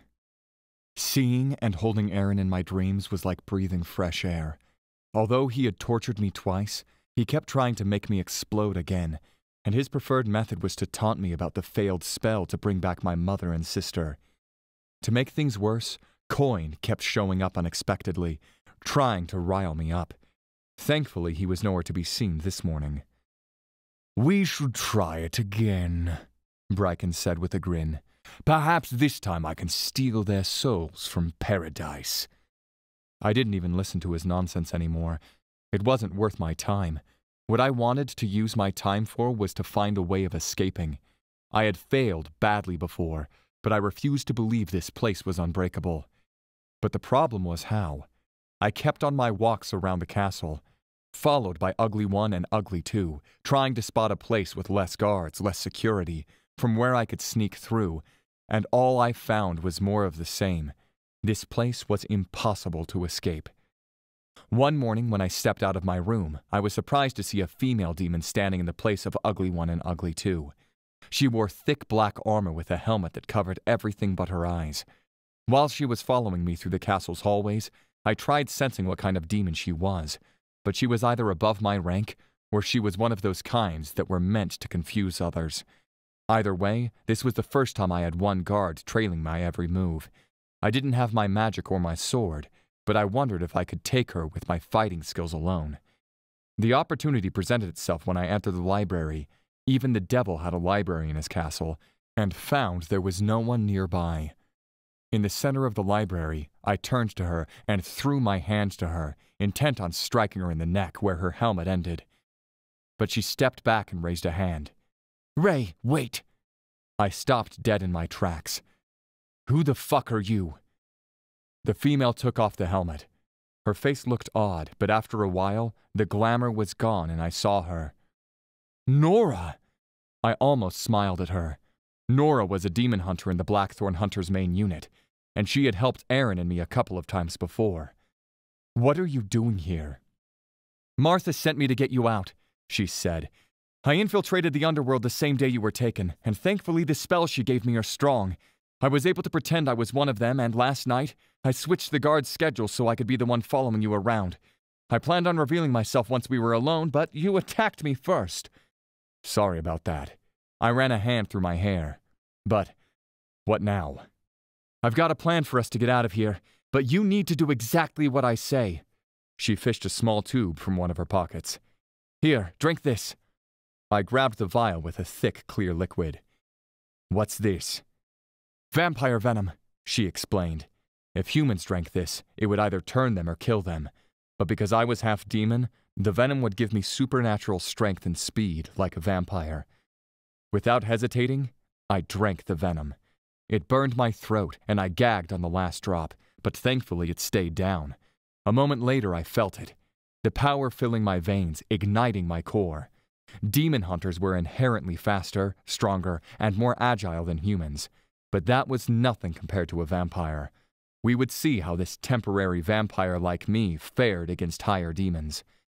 So, what's the plan? I asked, trying to get used to the new feeling inside me. She smirked. Come with me. Frowning, I followed her out of the library, through the hallways, to the front door of the castle. Because she was dressed up as a guard, nobody stopped us. In front of the huge doors, Nora turned to me. Brace yourself. For what? She didn't say it twice. With swift movements, Nora summoned her Dawnblade and jutted it at me. I gasped, sure she was stabbing me in the chest. But instead, a quick glass breaking sound reached my ears. Jaw open in shock, I glanced down at my chest and saw the necklace broken. You should be able to take it off now, she said, hiding her sword once again. But by now, Brikan probably knows something is going on. She rolled her shoulders. Ready? I eyed her, confused. What for? Once we step through this door, we'll need to run faster than we've ever run before, she said. That's why I gave you the vampire blood. Demons will come at us, and we'll fight them off, but we won't stop. You got it? I blinked. That's your fucking plan? You've got a better one? Actually, I didn't. Fuck, I whispered. She pushed the doors open, and we darted out as a roar echoed inside the castle. The shuffle of heavy boots behind us brought an eagerness to my chest. Faster! Nora cried. Using the energy the vampire's blood had given me, I hurried my steps. As Norris said, demons came at us. Muttmogs, dark elves, even Helia and Coin appeared by our side. But we used our momentum to keep going. We pushed them out of our way with our vampire like strength without losing speed. We're almost there, I shouted as the passage under the mountain grew bigger and closer to us. As we reached the portal, I realized the demons had stopped attacking. Wary, I paused and looked back. From one of the balconies of the Black Palace, Brikan watched as Nora and I escaped. The demons, who before were attacking us, were now standing in the path watching us. Brikan was letting us go. I didn't wonder why. I just pushed to my feet and started running again. Chapter 11 Erin During a lunch break, the girls invaded my bedroom to cheer me up. Claire, Harper, and Ava brought me lunch and other supplies. Every night, you go to bed complaining that all of your muscles hurt, Claire said, resting a small massager device, pain relief pads, and a relaxing tea packet over my bed beside where I was seated. Try training for 10 hours a day nonstop, I said, rolling my shoulders. It was true. Everything hurt. I spent most of the day practicing with Kristen. Then the two of us joined Jasmine to practice the infernal curse. Despite Kristen's progress, she was still not in absolute control of her power. More than that, the three of us kept arguing, usually after some nasty comment from Jasmine, and training always ended in arguments. Here, Claire hopped on the bed behind me and started moving the massager around my shoulders and neck. I moaned. Holy shit, one could get used to this. You should apply these too. Harper offered me the pain relief pads. With a small smile, I took one from her and placed it on my lower back. Heat seeped into me as the medicine started acting. I say you should drink some booze and go to bed early tonight, Ava suggested. She leaned back on my desk and crossed her arms. That should help. The thing was, as much as I wanted to go to bed early, I was also dreading it. For the last couple of days, Rey hadn't met me in my dreams, and I was worried about him. I knew I was getting ahead of myself, since it could be that the soul bond simply didn't connect us each time we dozed off but I couldn't stop thinking that it meant something more. What if Brikan was torturing him? What if he was dead? My stomach tightened with the thought. Why aren't you eating? Claire asked as she moved the massager down the length of my back. You need to eat well if you're going to keep up this intense training. I had no appetite, but I knew she was right. Groaning, I picked up the big sandwich they had brought me and took a bite out of it. I still vote for booze tonight, Ava said. We sure need it. Harper shook her head. And where do you suggest we find booze? The entire campus is empty, Ava continued. I bet if we go into one of the professor's townhouses in Dahlia Villa, we can find something. The girls exchanged a glance, considering. Hmm, no. I swallowed another bite of my sandwich. You guys go ahead, but I think I'll feel worse if I drink. I do have to get up early tomorrow morning and do it all over again, you know. Ava rolled her eyes. Meanwhile, we just sit here and wait. My brows curled down. What is that supposed to mean? Nothing, Ava snapped. She let out a long sigh. Sorry, it's just that it has been a few days since everyone left, and I'm bored out of my mind. You and your sisters practice all day, but the rest of us, we have nothing to do. That's not true, Harper said. We've been watching movies and talking. She paused. Yeah, uh, you're right. I'm getting bored too. Perhaps we should train too, Claire suggested. We all looked at her as if she was an alien. Did I hear you right? I asked, suddenly worried. Claire always hated training and any other physical activity. Abandoning the massager, she scooted to the edge of the bed and sat beside me on the mattress. I mean, we're all bored, and we know we'll need to fight King Brikan. It's not like I want to practice, but if we can at least keep ourselves from getting rusty. Ava pursed her lips. That is not a bad idea, actually, although I don't recommend her crazy training schedule. She pointed at me, the crazy one, but sure, why not practice for a couple hours each day? I have another idea, Harper started, her voice low. I was talking to my grandmother last night, and she said I probably have magic inside me. Since Claire has a lot of spell books, why don't you two help me with my magic while the others are busy? I felt slightly jealous. Damn it, I wanted to join them and help Harper with her magic too but I was already doing something they couldn't. Now it was my turn to let them go and not be mad at it. I think that's a great idea, I said, shoving my jealousy to the depths of my soul. I like it, Claire said with a smile. I'll start gathering my books this afternoon. Ava shrugged. Yeah, whatever. I took the last bite of my sandwich a second before my phone's alarm started ringing. With a sigh, I turned it off. Time for me to go back. I stood from my bed and looked at each of the girls. Thank you for lunch, the massage, and the pads. Our pleasure, Claire said. Go kick ass. I chuckled, though it lacked any emotion. I wish. As I left my bedroom, I made a mental note to check on them before I blacked out in exhaustion tonight. I wanted to know how the magic training session went. Outside, I took a deep breath of the crisp, early afternoon air, willing it to give me strength and keep me going. I looked around, glad most of the snow was finally clearing. It was the beginning of March, but the temperature was still too low, in my opinion. As long as it didn't snow again, though, I would be satisfied. When I arrived at the Hyacinth building, Jasmine and Kristen were already there, though each stood on opposite sides of the training room. In the last couple of days, Karen and Katrina started to extend their leash on Kristen. First, they came and stood outside in the hallway for as long as it took us to train. Then they started coming, dropping her off, and leaving, though they came back every 30 minutes to check on Kristen.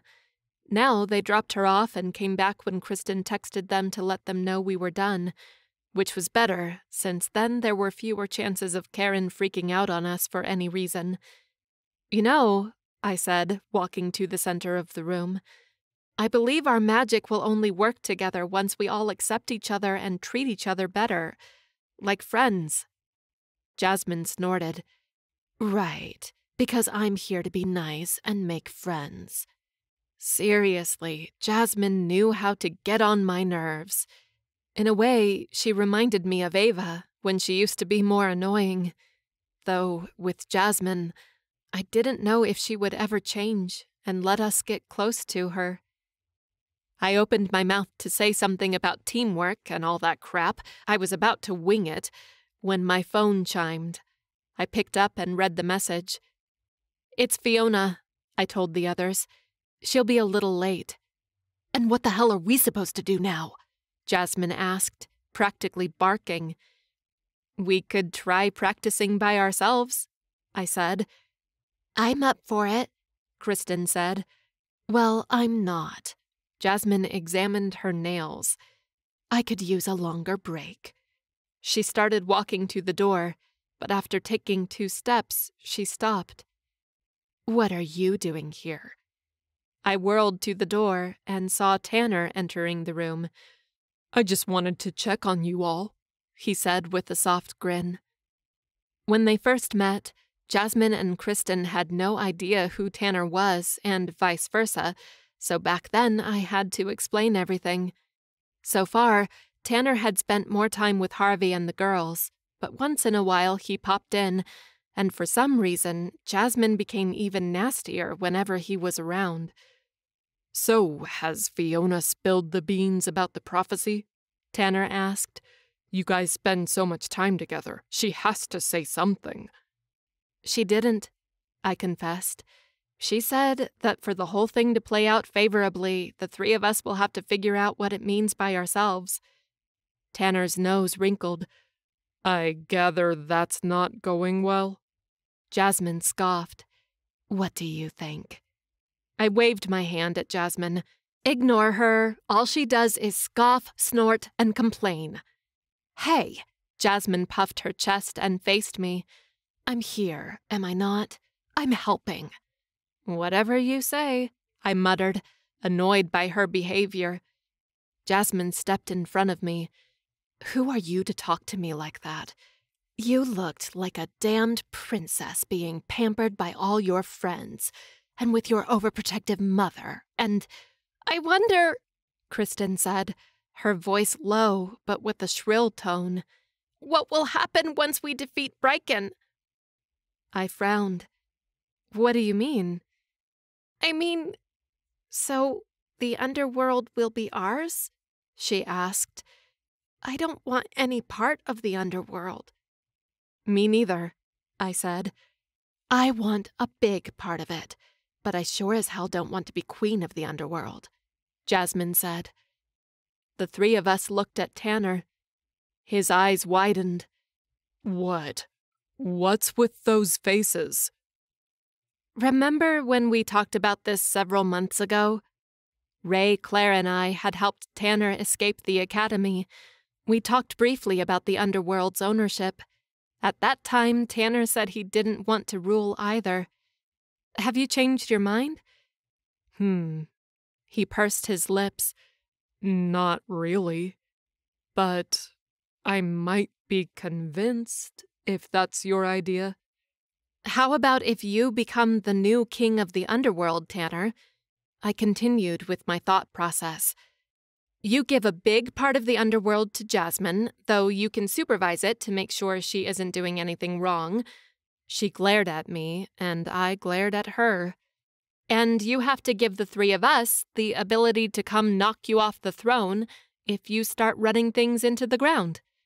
Kristen nodded. I like that. Jasmine looked at her long nails again. Yeah, I guess it works. Tanner opened his mouth, then closed it again. Hmm, are you sure?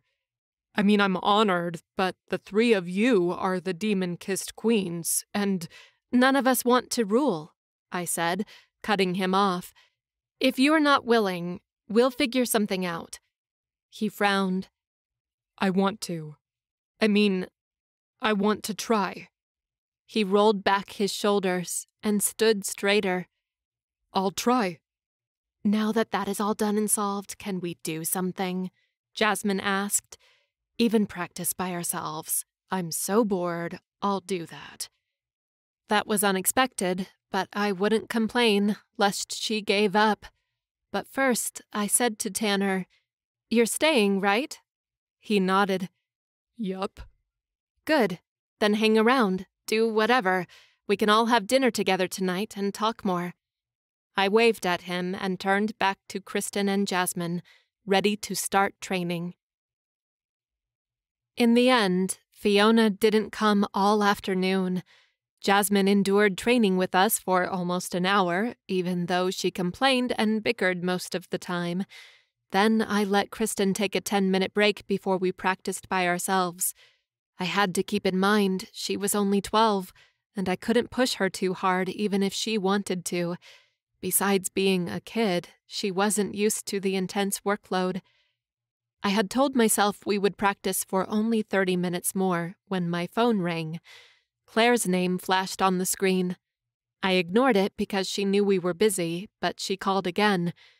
I frowned, thinking that if she insisted, it was because she had something important to tell me. Hey, what's up? I asked as I answered the phone. Hey, hmm, you should come outside, she said. We're training. What is this about? Erin, just come outside. It's kinda urgent. And she hung up on me. I stared at the phone. What the hell? Kristen approached me. What happened? I don't know, I told her. I'm supposed to go outside. Want to come with me? She shrugged. Sure. Together, we walked out of the classroom and exited the building. Before me, the courtyard extended, the blackthorn tree as majestic as ever. Above, clouds rolled in, blocking the last of the sun rays for the afternoon. Claire, Harper, and Ava stood on the right side of the courtyard at the steps of the Statice building. Whatever it was, it didn't seem urgent, as they were just standing there, doing nothing. Frowning, I descended the stone stairs and followed the path leading to them. And that was when I saw a tall figure across the courtyard, walking from the Astor building directly toward me. My heart stopped and my steps faltered. It was Rey. Rey was here.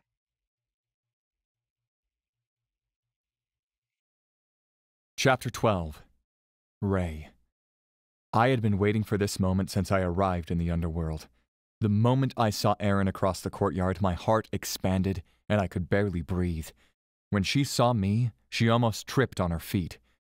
I ran toward her. Two seconds later, Erin ran to me, too. We crashed into each other, our arms and legs entwined and our chests glued on one another. Holy shit, you're here, she whispered in my ear. You're really here. I'm here, and I'm never leaving your side again. I pressed a kiss to her cheek, on her nose, on her lips. Time slowed down. I pressed my mouth to hers and kissed her. She inhaled sharply, her nails sinking into my arms. As she parted her lips for me and let me in, I jumped. I free fell into her, knowing she was my home, my life, my heart, my soul. Erin was mine, and I was hers. Even when the devil separated us, our love would go on. I moved my mouth against hers, so desperately I was sure her lips would be bruised later on. Finally, after a long while, we were both breathless. We pulled back, but didn't let go of each other. Erin's eyes skimmed over my face, her hands hovering over me. How? She shook her head. What happened? How are you here? Your mother sent Nora to help me escape. I told her. Her eyes bulged. My mother? She didn't tell me anything. Probably because she didn't want you to be more worried than you already were. I pressed my hand over her breast, right where I knew the soul bond mark rested. I'm sorry for making you worry. Tears brimmed Erin's golden eyes. You're here now. That's all that matters. She embraced me again, and I sank into her, just glad to be with her. But there was one thing bothering me. Erin, When Nora and I were escaping, Brikan saw it, and he let us go. When she pulled back, she was frowning. That's not like him. I know, and I'm worried about that. Erin shrugged. You know what? I can't worry about it. I won't let anything spoil my suddenly wonderful mood. Not even that. She smiled at me, then looked around. Where did everyone go? I followed her line of sight. Sure enough, her friends were nowhere to be seen. I guess they didn't want to witness us jump each other. Erin chuckled. Well, speaking of jumping, she tightened her hands around mine. Suddenly, the world spun around us. When it settled a second later, we were in the empty living room of my townhouse. We could use a little more private time, don't you think? Then she let go of my hands. Unless, I mean, you must be tired and hurt, probably starving. She turned to the kitchen. Why don't you take a shower while I prepare dinner, then? Erin. I grabbed her wrist and tugged her to me. A gasp fled from her lips as she crashed into me, her hands on my chest. Just shut up. Sliding my hands around her back, I leaned into her, claiming her mouth again. Erin let out a sigh as she kissed me back, matching my desperate rhythm perfectly. With deft hands, I stripped her of her training uniform while backing her to the wall. Then I showed her just how much I missed her. We spent most of the night in bed, making love, just holding each other, eating dinner, talking. If I had my way, I would never leave her, and I would never take my hands from her, even if it was my pinky touching her pinky. I needed to feel her warmth, to hear her breathe, to smell her sweet scent. With her head resting on my arm, Erin traced her fingertip over one of the many thin lines covering my shoulders. I'm so sorry for what he did to you, she whispered. My brow furrowed. It doesn't matter now, I said, though I couldn't lie to myself that I was a little worried about the scars on my back. What if Erin found me repulsive now? But so far, she had been amazing as always. And now she caressed my scars as if they were an extension of me. Now he can't hurt me anymore. Damn straight. She dipped her chin, moving her cheek against my arm. How have things been here? I asked, knowing I had missed a lot. Erin let out a long breath. Not great. Fiona, who, by the way, is Harper's grandmother, Francine, told us we need to use something called the Infernal Curse to defeat Brikan, and for that we need to unite our magic and fight him as one. But Kristen has never used her powers before, so there's a learning curve. She's too young, I said, remembering the little girl standing with her two older sisters, eager to help, but being held back. I know. I think so too. But there isn't much I can do about that. I can't change the mark from her wrist to Karen's, for example. But Kristen is willing to do anything. But Jasmine is a pain in the ass. I also think she doesn't like Kristen getting involved. That, or she simply doesn't like Kristen. Regardless, she's always complaining and bickering about everything. It's annoying. What can I do to help? She cocked one eyebrow. You know what? We haven't done it in a while, but you and I were able to unite our powers before. Because of the soul bond. Right. We should be able to do it again. That way, we can show them how to do it. Even if it's a little different, since you're my twin soul and they are my sisters, but still. Perhaps seeing it being done will help them get an idea of how it's supposed to be, what it's supposed to look like. I nodded. We can definitely do that. She smiled at me, her face so radiant, so beautiful, it made my heart clench. Slowly, she brought her hand around my shoulders, down my collarbone, until her fingertips traced the mark on my chest. You know, once the soul bond is restored, it becomes stronger than ever. I think that's why we could meet in our dreams. I had hoped that I would be able to sense you and find you once it was restored so I could rescue you. That was my plan, at least. But you were faster and escaped by yourself. I didn't want to be a damsel in distress, and I didn't want to cause you any distress either. I glanced at the mark, twin to mine on her skin. How did you do it? How did you restore the soul bond? When we first met Fiona, I told her I wanted to find a way to rescue you, so she suggested restoring the bond. She went on, telling me about the risks, the cleansing ritual, the ceremony, the angel. My breath caught. You were ready to lay down your life for me? Wouldn't you do the same for me? I didn't hesitate. I would. My heart swelled, becoming bigger than my chest. Fuck how I loved this woman. There were no words for it. She was everything to me, plain and simple. I tightened my arms around her, bringing her closer to me. I love you, I whispered. She lifted her chin, aligning her face with mine. I love you more. Slowly, I brushed my lips against hers. Now that the desperation of our reunion had passed, I would savor her, take in her scent, her taste, mark her in my soul, lock her in my heart. I rolled over, pressing my naked body to hers. You're mine, I said with a growl. That I am, she whispered, running her nails on my back, sending a delicious shiver down my spine. And you're mine. I brushed my lips on hers and said against her mouth, Forever. Chapter 13 Erin With Rey's help, Kristen, Jasmine, and I were able to unite our magic. It took a couple of days and a lot of swearing, but now, two weeks after Rey's return, we were finally doing it. Once the training started, my sisters and I immediately joined our powers and hit all the targets Fiona put in front of us. In the past two weeks, things had changed around campus. Classes resumed, but the campus still felt empty since only a low percentage of the students came back. My mother had tried making the academy more secure so parents wouldn't feel afraid to send their kids back. She even had Fiona create a magical shield around the academy. We knew it wouldn't stop Brikan, but it might slow him down and warn us, giving us time to evacuate everyone. Even so, the world was afraid of Brikan. I couldn't blame them. Although my friends had gone back to classes, I hadn't, since I had to train with my sisters all day.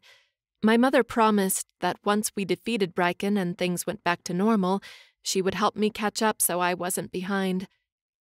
On a Thursday morning, I stayed in Rey's bed while he got up and went to his first class of the day. He still had classes to teach, even with the low turnout. I should be up and ready for training too, but I had sent a text to Fiona, Kristen, and Jasmine asking to postpone the practice until mid morning. I had been pushing myself hard these past couple of weeks, and it showed. I dragged my feet to and from the Hyacinth building so often that I ended up napping in my plate during lunch breaks, and I hit the mattress way too early at night. I wanted to stay up and enjoy having Rey by my side, but had settled for simply snuggling with him and passing out. Because Brikan could literally attack us at any time, we weren't even taking the weekends off. But we needed to, otherwise, we would break down. With that in mind, I pushed the warm blankets aside and forced myself to get dressed. I was planning on eating too, but once I got to the kitchen, my stomach turned, and I almost gagged at the sight and smell of food. Seriously, this could only be a side effect of pushing myself too hard. Ignoring the feeling and the food, I trudged on. I left Rey's townhouse and went to the classroom where the girls and I usually trained. Kristen was already there by herself. A moment later, Fiona arrived, but Jasmine was late, as usual. To pass the time, Kristen practiced her magic under Fiona's and my surveillance. She conjured bolts of dark fire and threw them at the target spread through the room in quick succession. The targets had been painted with numbers, 1 through 5, which meant number 1 should be hit with a small, weak bolt, and number 5 should be hit with a strong bolt. She's getting better, Fiona said in a low voice. She is. I nodded, which is good because we need to make more progress. I know, Fiona glanced at me. I actually prepared something different for today. I cocked my eyebrow at her, but she didn't tell me. Finally, Jasmine arrived. Tired of everything, I didn't complain. Otherwise, she would snap at me and we would end up arguing again. Kristen and I met her at the center of the room, while Fiona went to the storage room in the back. She paused at the closed door and looked at us.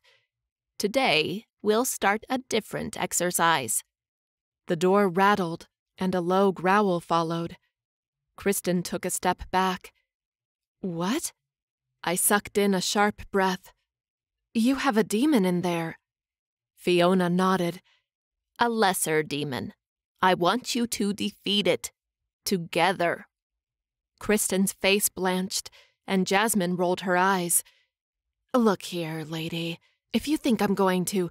A ripple of powers coursed through the room, and Jasmine shut her mouth. I'm old and powerful, and because of that, I demand respect, Fiona said, with a bite to her usual voice.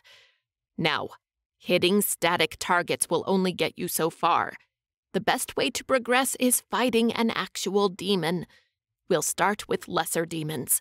One first, two next, then three. Once you can defeat five lesser demons in less than 10 seconds, we'll progress to neutral demons. One, then two, then three, and so on. Hopefully, you three will work together and this will go smoothly. The best case scenario would be for you to defeat five higher demons within the next month. Then, and only then, you'll be ready for the infernal curse. I shook my head. What she was saying made sense, and I understood the urgency of the situation. We didn't have time to go inch by inch. We had to go mile by mile. But what the hell? Kristen had never fought a real demon, not by herself, and despite the methodic training so far, Jasmine didn't really look like a team player. The moment a demon rushed us, she would dart the opposite way and let us be bait. I opened my mouth to tell Fiona my thoughts, but she opened the door. A single Grimp ran out of the storage room. The waist high, gray skinned monster paused for a moment, looking at us with its yellow cat like eyes. It bared its pointy teeth at us before stomping its large feet on the mat, running toward us. Kristen froze. Jasmine took several steps back, just as I thought. Come on, girls!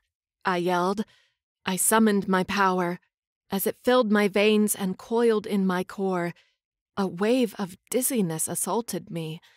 Pushing against it, I threw my hands out and sent a bolt of dark fire at the little imp. But the bolt never came. Instead, I fell on my knees, my stomach contracting in pain and gagging as if I had drunk too much last night and was now paying for it. Erin! I heard someone call as the Grimp jumped over me, sharp teeth snapping. I fell back, out of breath and dizzy, with the Grimp pressing over my chest. I swatted it to the side and rolled onto my stomach, but before I could drag myself away, pain rushed through me, making me curl into myself. My breath grew shallow, and I felt way too hot. Erin, talk to me, someone said. I blinked, trying to force myself to focus. Breathe. Just breathe. Shutting my eyes, I inhaled deeply, then let the air out slowly. I repeated that a couple of times, and the dizziness and pain went away. Once I was sure I wouldn't throw up, I opened my eyes again. Fiona and Rey knelt beside me on the mat, their eyes huge with worry. Behind them, Kristen and Jasmine spied at me. What happened? I asked, pushing up. Rey caught my arm and helped me to my feet. The world swayed, and Rey tightened his hold on me. I was going to ask you that, Rey said. You were writhing on the floor when I arrived. What happened? I don't know. I confessed. I was about to attack the Grimp when my eyes bulged. The Grimp! It's dead, Fiona said. When you fell and it came for you, I used my magic to put it back in storage. I'm sorry. My shoulders deflated. we couldn't do the exercise because of me. That's what you're worried about? Rey asked, his tone laced with worry. What happened? He asked again. I shrugged. I really don't know. I felt dizzy, and a sudden pain hit me hard. Fiona frowned. Where does it hurt? The pain and the dizziness are gone now, but it started here. I touched my center, right above my solar plexus. In my gut, I would say. Maybe we should go to the infirmary, Rey suggested, tugging me forward. No, I'm fine now. I pulled my arm from his hold to show him I could stand on my own. I have no idea what that was, but it's gone now. We can keep practicing.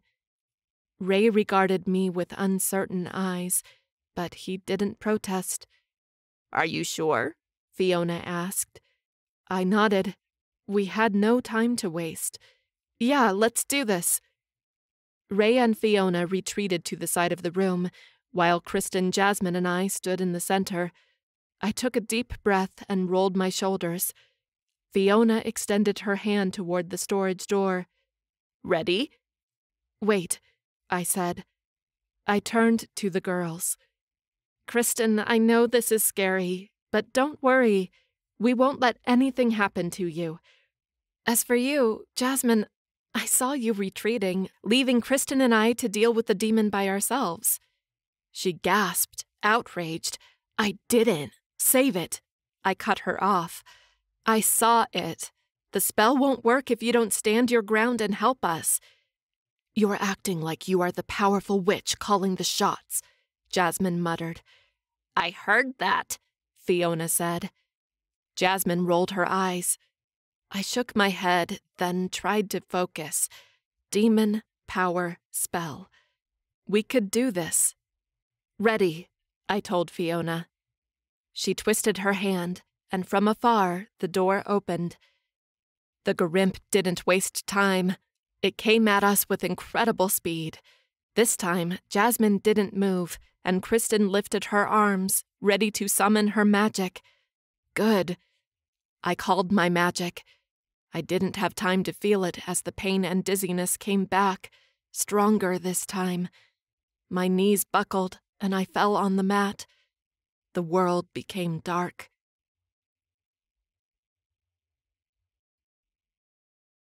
Chapter 14 Rey.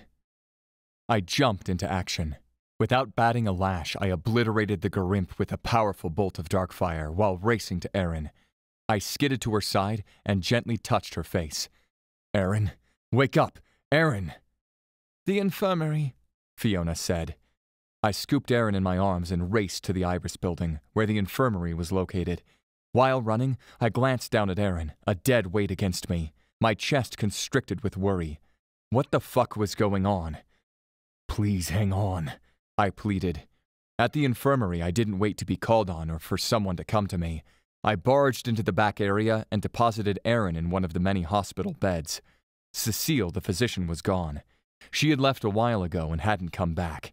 But Peggy, a demon hunter who served as one of the physicians for the Blackthorn Hunters, had taken her place, even if temporarily.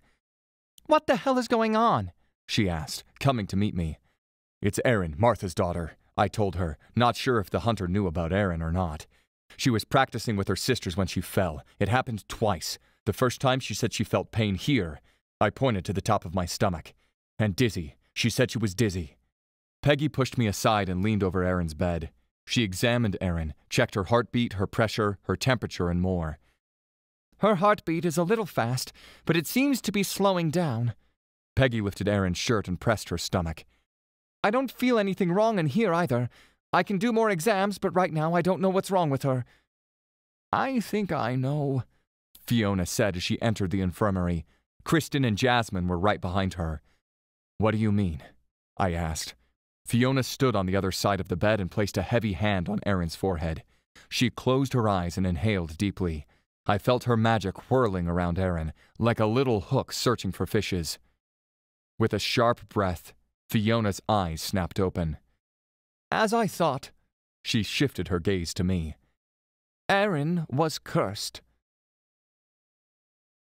After Fiona's diagnosis, I waited until Peggy gave Erin an IV with fluids, since she was weak and probably dehydrated, then moved her to my townhouse. I watched her like a hawk, though I felt impatient. Who had cursed her? Why? How? What was this fucking curse? I had no clue. Erin soon woke up, but she was too weak to stand on her own, so I declared she was on bed rest until further notice. But I have a war to fight, she protested. I loved her, but I ignored her protests. How could she fight a fucking war if she couldn't stand upright and summon her magic?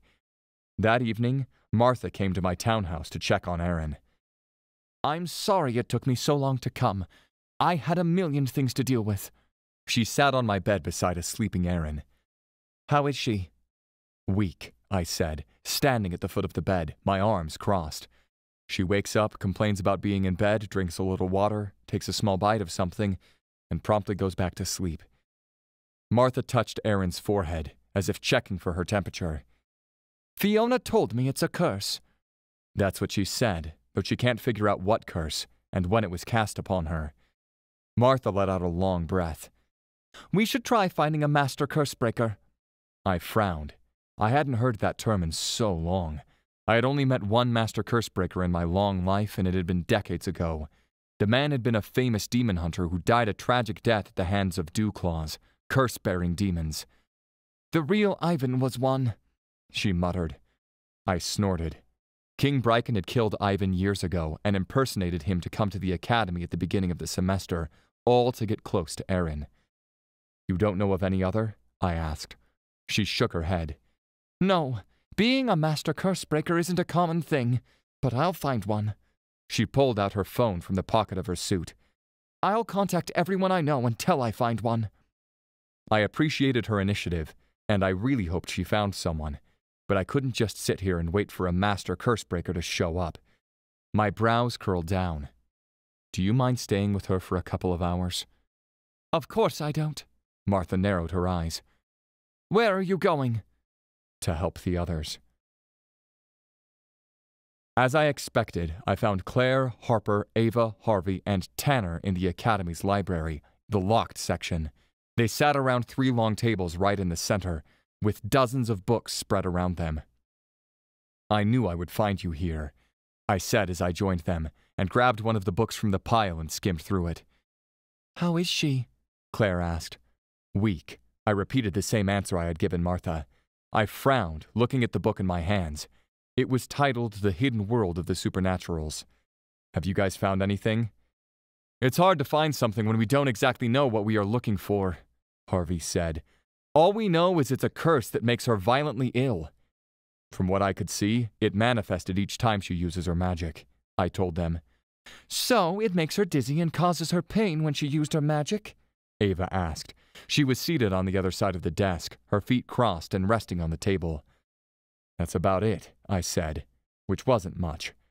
For the next hour, I skimmed through a dozen books, trying to find the damn curse that had been inflicted on Erin, but no luck. There were millions of curses listed in these books, but none of them matched what was happening to Erin.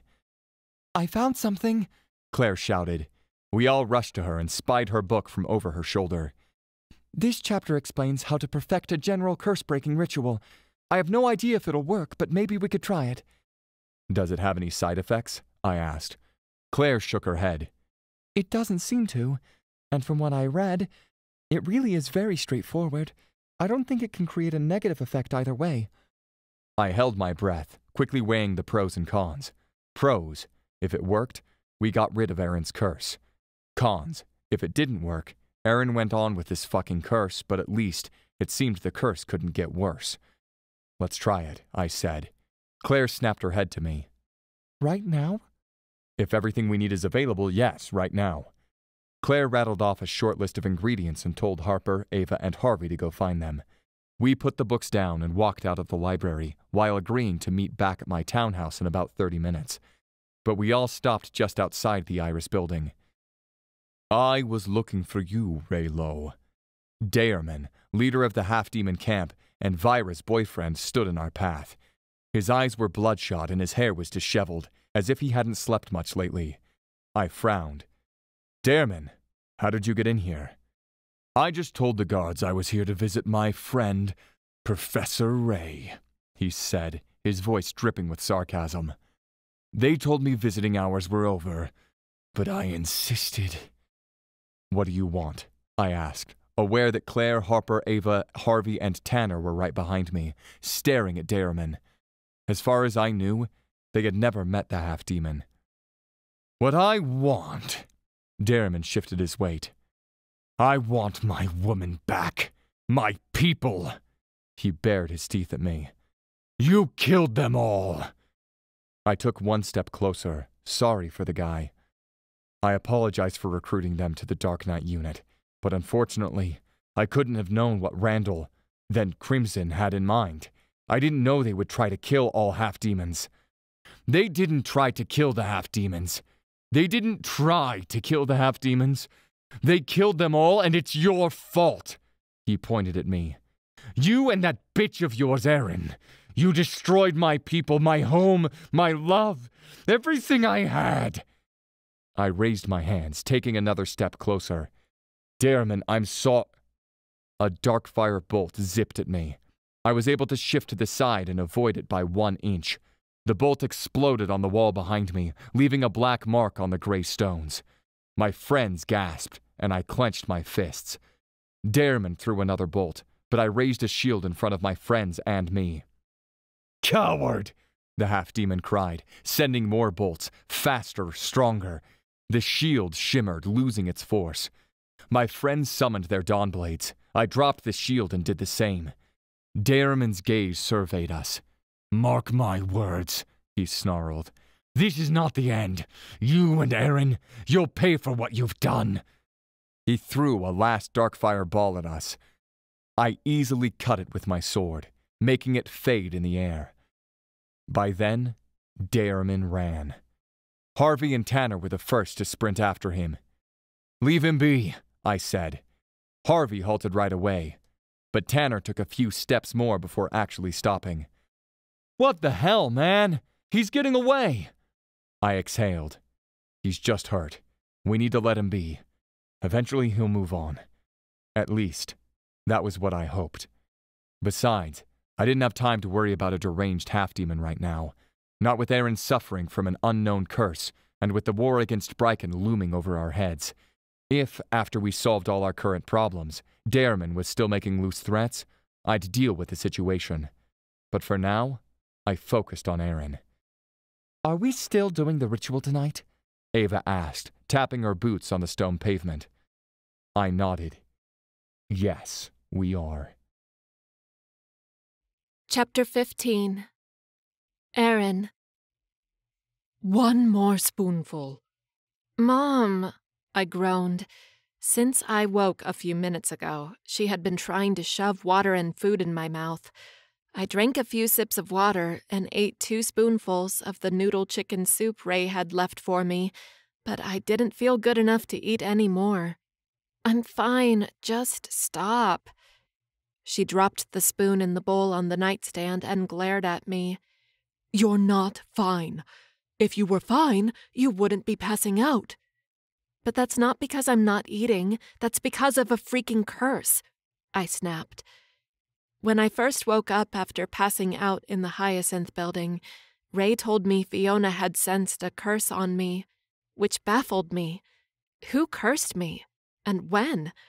I raked my mind, trying to think when I could have been alone with anyone who didn't like me, and how they could have cast a curse on me without me knowing, but I couldn't think of one single moment. The only time I had been alone with an enemy had been when I faced Brikan in the arena, though I hadn't been truly alone with him. Rey had been there with me, though he had been spelled by Brikan. Also, there had been dozens of people around the arena, outside the barrier that Brikan had created. If he had cursed me then, others would have seen it, and I would have known, right? The sound of footsteps reached my ears. My mother stood from the bed and stood beside it, as if she were my bodyguard. What did she think, that evil would arrive making a lot of noise? Rey entered his bedroom, followed by Claire, who was carrying a heavy leather bound book. What's going on? I asked them. Rey sat on the mattress beside me. How are you feeling? I shrugged. I'm okay, I lied. I wasn't okay. I felt weak and nauseated. My body was sore, as if I had exercised too much or taken a beating, and every once in a while a wave of pain whipped through my body. But tell me what's going on. I found a curse breaking spell, Claire declared, holding out the book. Let me see, my mother said. She stood beside Claire as my friend flipped through the pages and showed her the spell. Hmm, it's generic. But since we don't know who did this and how, I don't see why we can't try. She looked at me. Are you okay with that? Hell yes, I said, my voice thin. Anything that makes me feel better. Rey rested his hand on my leg. I could feel his warmth, even with the blanket in between. Are you sure? If you're not feeling well, we can do this tomorrow. I shook my head and threw the blankets aside. No, let's do it now. The sooner we try this, the sooner I'll get rid of it. Holding my arm like a vice grip, Rey helped me to my feet. Slowly, we made our way down the stairs. I felt like an old lady with motor impairments, and I hated how the three of them, Rey, Claire, and my mother, were hovering over me as if I would collapse at any second. Since we didn't know the extent of this curse, I didn't complain. I just went with the flow, hiding how annoyed and frustrated I was with this situation. As we exited Rey's townhouse into the dark and cold night, Harper, Ava, Harvey, and Tanner rounded the corner into the Dahlia Villa and walked to us. Harper had a bunch of herbs in her hands. Ava and Harvey had a couple of glass vials each and Tanner carried a dead rat by the tail. I wrinkled my nose, remembering when my mother made me practice dark magic. She would kill rats so I could steal their life force. So disgusting. What do we do with these? Harper asked as they halted in front of us. Here. Claire walked out a few steps into the wider side of the stone pavement. Bring them here and I'll arrange them. Leaning against Rey, I watched as Claire mixed the herbs, the contents of the vials, and the rat's blood into a small bowl. Then she used the mixture to paint a small circle on the ground, like a witch's summoning circle. She drew the symbols around the perimeter, just like it was depicted in the book, then beckoned me forward. Rey held me up, but I shook my head at him. I'd like to do this alone or rather, at least to try to do this alone. Being dependent on others was killing me. Knowing I needed to hold on to some of my pride, Rey pressed his lips together, as if keeping in his worry, and he let me go. I dragged my feet to the center of the circle, each step painful and tiring. Holy shit, I was probably 99 and didn't even know it. Claire looked at me, a deep knot in her forehead. All you have to do is stand here. Is that okay? With each passing second, my legs grew heavier, but I nodded. Just do whatever the hell you have to do. She stepped out of the circle and passed the book to Harper. She had taken Claire's advice and started practicing magic between classes. Sometimes, after training with me and my sisters, Fiona would stop by and check on her progress. As far as I knew, Harper had been able to access her magic and control it, but she was afraid of using too much at a time, so she over controlled it, which was better than overusing it, I guess. Harper held on to the book, her fingers curling around the thick leather cover, and inhaled deeply. All right, she said. Then she launched on a sort of chant in a weird language. The circle reacted instantly the lines shining brightly against the gray stones underneath. The magic pulsated around me until it reached me, licking up my legs and enveloping my body. The magic pressed against me until it was inside me, moving, flowing, searching. Dizziness assaulted me again, and I stepped to the side, almost losing my balance.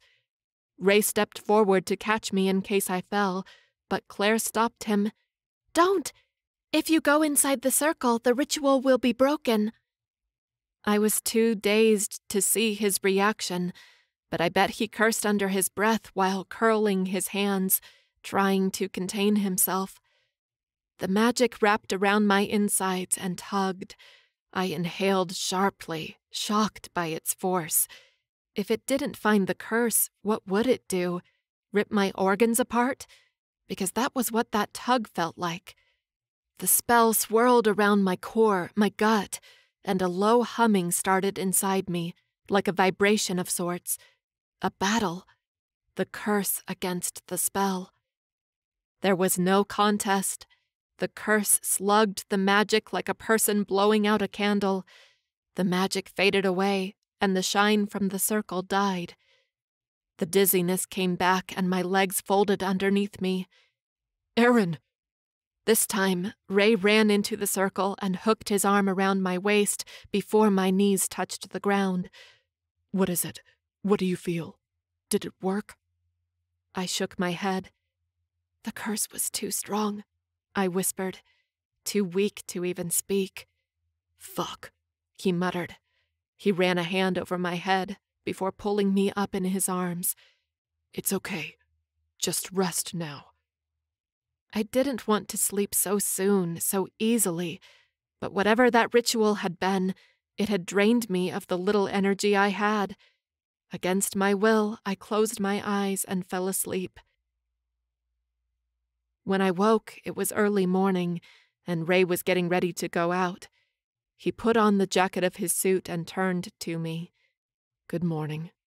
He sat on the mattress and touched my forehead. How are you feeling?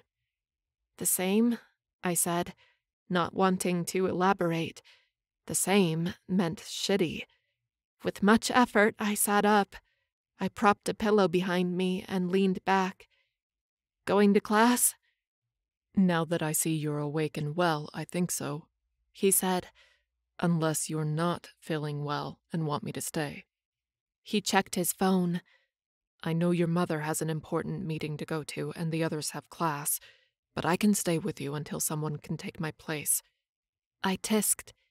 Nah, I'm okay. Rey's gray eyes turned almost silver with worry.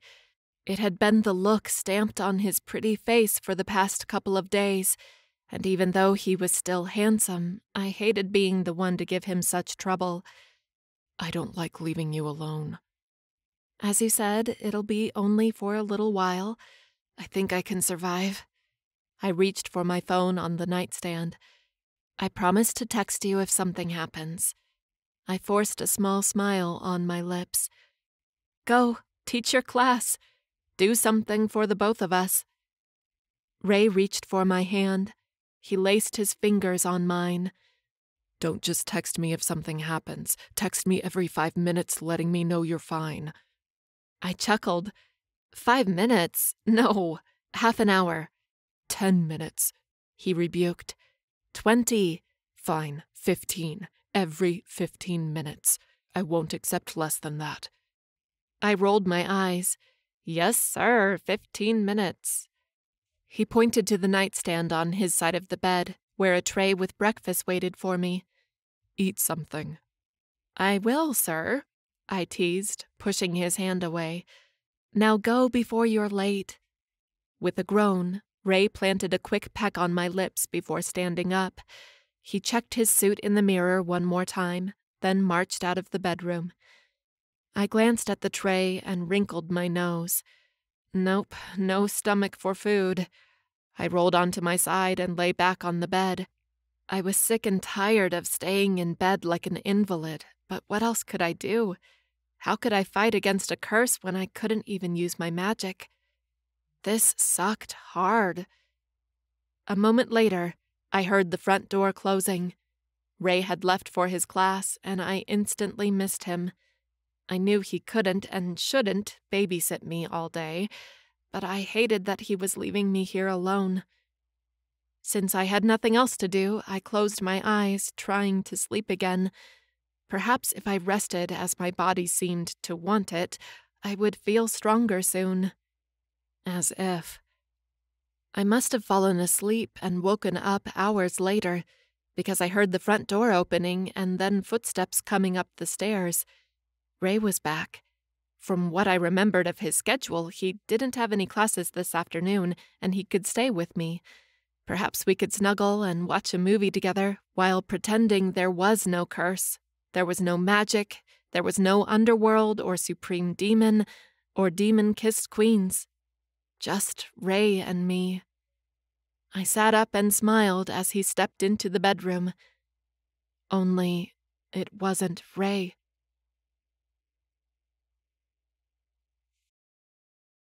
Chapter 16 Rey. I was almost at the Statice building when I realized I left one of my notebooks back at my house. My mind had been so scattered lately, I would forget my head if it wasn't attached to my neck. It was the curse on Erin, making her too weak to train with her sisters, and if they didn't train together, they wouldn't be able to perform the infernal curse and defeat Brikan. A giant snowball that only got bigger and worse. Also, the fact that Brikan watched as Nora and I escaped from the underworld still bothered me. Why the fuck did he do that? I paused outside the building, pondering if I should wing it and teach class without my notebook. But with my mind so busy, I doubted I would do a good job if I didn't follow my notes so I rushed back to my townhouse to grab the notebook before my class started. When I approached my house, I paused. Something felt wrong. I reached the knob, but I didn't have to twist it or even unlock the door because it swung open. A crash came from upstairs, followed by a growl and a scream. Hard in my throat, I dropped my things and raced up the stairs, climbing four at a time. At the landing, I didn't pause. I summoned my Dawnblade and burst into my room. Daemon stood in the middle of the room, holding Erin up against the wall with his dark fire wrapped around her neck. Rage filled my veins and covered my eyes. I didn't think. I acted. Without a word, I swung my sword wide and cut across Daemon's back. His magic faltered, and Erin fell to the floor, gasping loudly. Teeth bared, the half demon turned to me. Now I'm going to kill you both. Not if I kill you first. He summoned two bolts of dark fire. For half a second, I considered playing fair, to let go of my sword and use dark fire too. But he had sneaked into my house and used his power on Erin, who could barely stand on her own. What if I hadn't come back? What if I had decided to present my class without my notebook? I couldn't think about that. More enraged by the second, I waved my free hand, sending a wave of dark fire at Daemon as he was about to throw his power at me. The wave hit him in the chest, making him drop his magic and stagger back. Without missing a beat, I stepped forward and plunged my Dawnblade in his chest. Daemon's eyes went wide. No, I have to make you suffer. You did. When he hurt Erin, he had hurt me. I pulled out my sword and stepped back. His knees hit the floor, and a moment later, his body fell at the feet. As I rushed to Erin, who was panting on the other side of the room, trying to stand up, but too weak to do so. Hey, I'm here. I scooped her up in my arms and turned to the bed. Then, I paused. No, I wouldn't put her down in the bed with a body beside it. So I took her downstairs to the kitchen and placed her on one of the stools, while I cursed myself for not having more furniture in this fucking house. Why hadn't I bought a couch or a bed for the guest bedroom? I brushed her hair away and examined her neck. It was red and angry. I hissed, knowing it would darken before it got better. How are you feeling? What's hurting? I'm okay, she whispered, her voice rough. Still weak, but I'm okay for now. I punched the counter. I should have been here. I shouldn't have left you alone. She grabbed my arms and pulled me closer. We couldn't have known. She wound her arms around my shoulders and her legs around my waist, holding me. I held back a snort. I should be the one comforting her. I buried my face in her hair, inhaling deeply, savoring that she was safe and with me. Fuck, I would never let her out of my sight again. He threatened me yesterday, I said. I should have known. Rey, she pulled back and looked at me. Don't be so mad about it. If you think about it, Derriman was acting on his feelings. He lost his lover and half his people because of us. If we were him, we would have done the same. She sighed. I mean, I wish we were better than this, but in the end we aren't. If something happened to you, I would sneak revenge too. I hugged her tight again. I can't lose you, I muttered. She pressed her lips to my temple. You won't lose me. We'll figure out how to break this curse. We'll fight all of our enemies. We'll set everything right. And the world will be perfect. You'll see. I smiled. I love your confidence. She let out a short chuckle, which sounded almost like a snort. If only I was confident. I doubt my actions 300 times a day. She was still amazing. I pulled back and locked my eyes with her. If you're okay, I should clean up the bedroom, then call your mother and tell her what happened. Go clean the room, she said. I'll call my mother. I nodded. Even this was hard, leaving her to go back to my bedroom, but I forced myself and left her in the kitchen, hopefully only for a short time. Chapter 17 Erin After a week of bed rest, I was sick and tired of lying down all the time. With time, I recovered most of my strength, though I couldn't perform magic. Each time I tried, I felt the curse and stopped immediately. The damn curse prevented me from using my magic, and without my magic, I couldn't perform the infernal curse to defeat Brikan. But just because we couldn't practice magic didn't mean we couldn't practice something. So I met with my sisters for sword fighting. It was something I really liked, and we didn't need magic for it. Hopefully, we wouldn't need to use swords when the time to fight Brikan came. But if our magic failed, we had a way of defending ourselves. Jasmine rolled her eyes when she saw me holding my Dawnblade in the center of the combat training room. Swords. Seriously. While you've been in bed, we practiced magic and some fighting skills, but now swords? No, thank you. Call me when you can do magic again. She stomped out of the room like an angry model on a runway, leaving Kristen and me alone. Her sisters had gone to Shosher VA to pass the time, and Rey was in the next room doing some weightlifting. What about you? Want to learn sword fighting? I asked. Sure. She shrugged, not sounding too eager. I sighed. Shit, I was trying. What else was I supposed to do? Calling my sword, I sat down on the mat and crossed my legs. Sorry I've been so sick. She sat down in front of me, mirroring my posture. It's not your fault. I knew it wasn't, but I still felt so bad about the problem my condition was causing. My mother had been trying to locate a master curse breaker since Fiona told her about the curse, but she hadn't found anyone so far.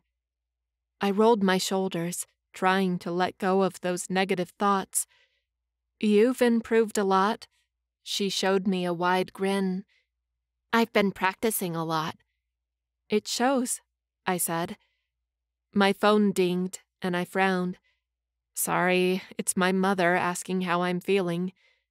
You can answer her, Kristen said. It's nice that you have her and she checks on you all the time. I tilted my head. I bet you miss your mother a lot, hmm? She nodded. She sacrificed herself for me. What do you mean? Honestly, I don't know much because I was asleep for most of it. But Karen told me that Brikan sent a higher demon to our house to kill me because of the mark. She rushed us out of the house. Karen practically carried me out, and my mother stayed and faced him. She swallowed hard. She faced him to give me time to escape. I reached over and held her hand. I'm so sorry. Me too. She inhaled deeply especially because I didn't escape. I got away from Karen and ran back. Karen and Katrina came with me, but we were too late. my mother was already dead. And the three of you killed the demon, I said, remembering she had mentioned something about that when we first met. Yeah, Kristen muttered. But we'll make it work, right? I mean, we'll break this curse that is hurting you, and we'll kick Brikan's ass, and I'll have the life my mother wanted for me. We will, I told her, trying to believe my own words. We have to. I tugged her hand and pulled her up with me. You know, the cafeteria has an ice cream machine. What do you think about sneaking in there and making some ice cream? She beamed at me. I'm in. I texted Rey, letting him know where we were going, and knowing he would shadow us, entwined my fingers with Kristen's, and together we walked to the cafeteria. After spending some time with Kristen and bonding a little, something tugged in my chest. I felt the need to check in with my mother. Rey insisted on walking with me to the Astor building. He halted outside my mother's office, his brows knitted together. What's wrong? I asked. Just wondering what you have to discuss with your mother. That's the thing, I said. I don't have anything to discuss with her right now. I just thought it would be nice to check on her, you know, like a normal daughter. A little embarrassment heated my cheeks. This was so unlike me. But after hearing Kristen's story about her mother, I realized how lucky I was to have mine right beside me. His forehead smoothed a little. That makes sense. He leaned into me and pressed his lips on mine. Text me when you're done. I'll come get you. I rolled my eyes, though I did like his overprotectiveness most of the time. Once Rey walked away, I knocked on the door. Come in? My mother's voice came from inside. I opened the door and stepped inside. She dropped the papers in her hands and stared at me, a worried knot on her forehead. Erin, what is it? I closed the door and stood there, feeling a little pathetic. Mm, nothing, to be honest. I just wanted to see if you're okay. My mother stood up, clearly concerned. Why? What happened? Nothing happened, I said, approaching her desk. It's. I let out a long sigh. I just thought we could spend some time together. Not as headmaster and student, or demon kissed queen, but as mother and daughter. Her gaze softened as she regarded me. Well, that's surprising, but I'm guessing these papers can wait until tomorrow. She cleared her throat. How about if we go to my townhouse, and I can cook us dinner while we talk? I smiled. I would love that.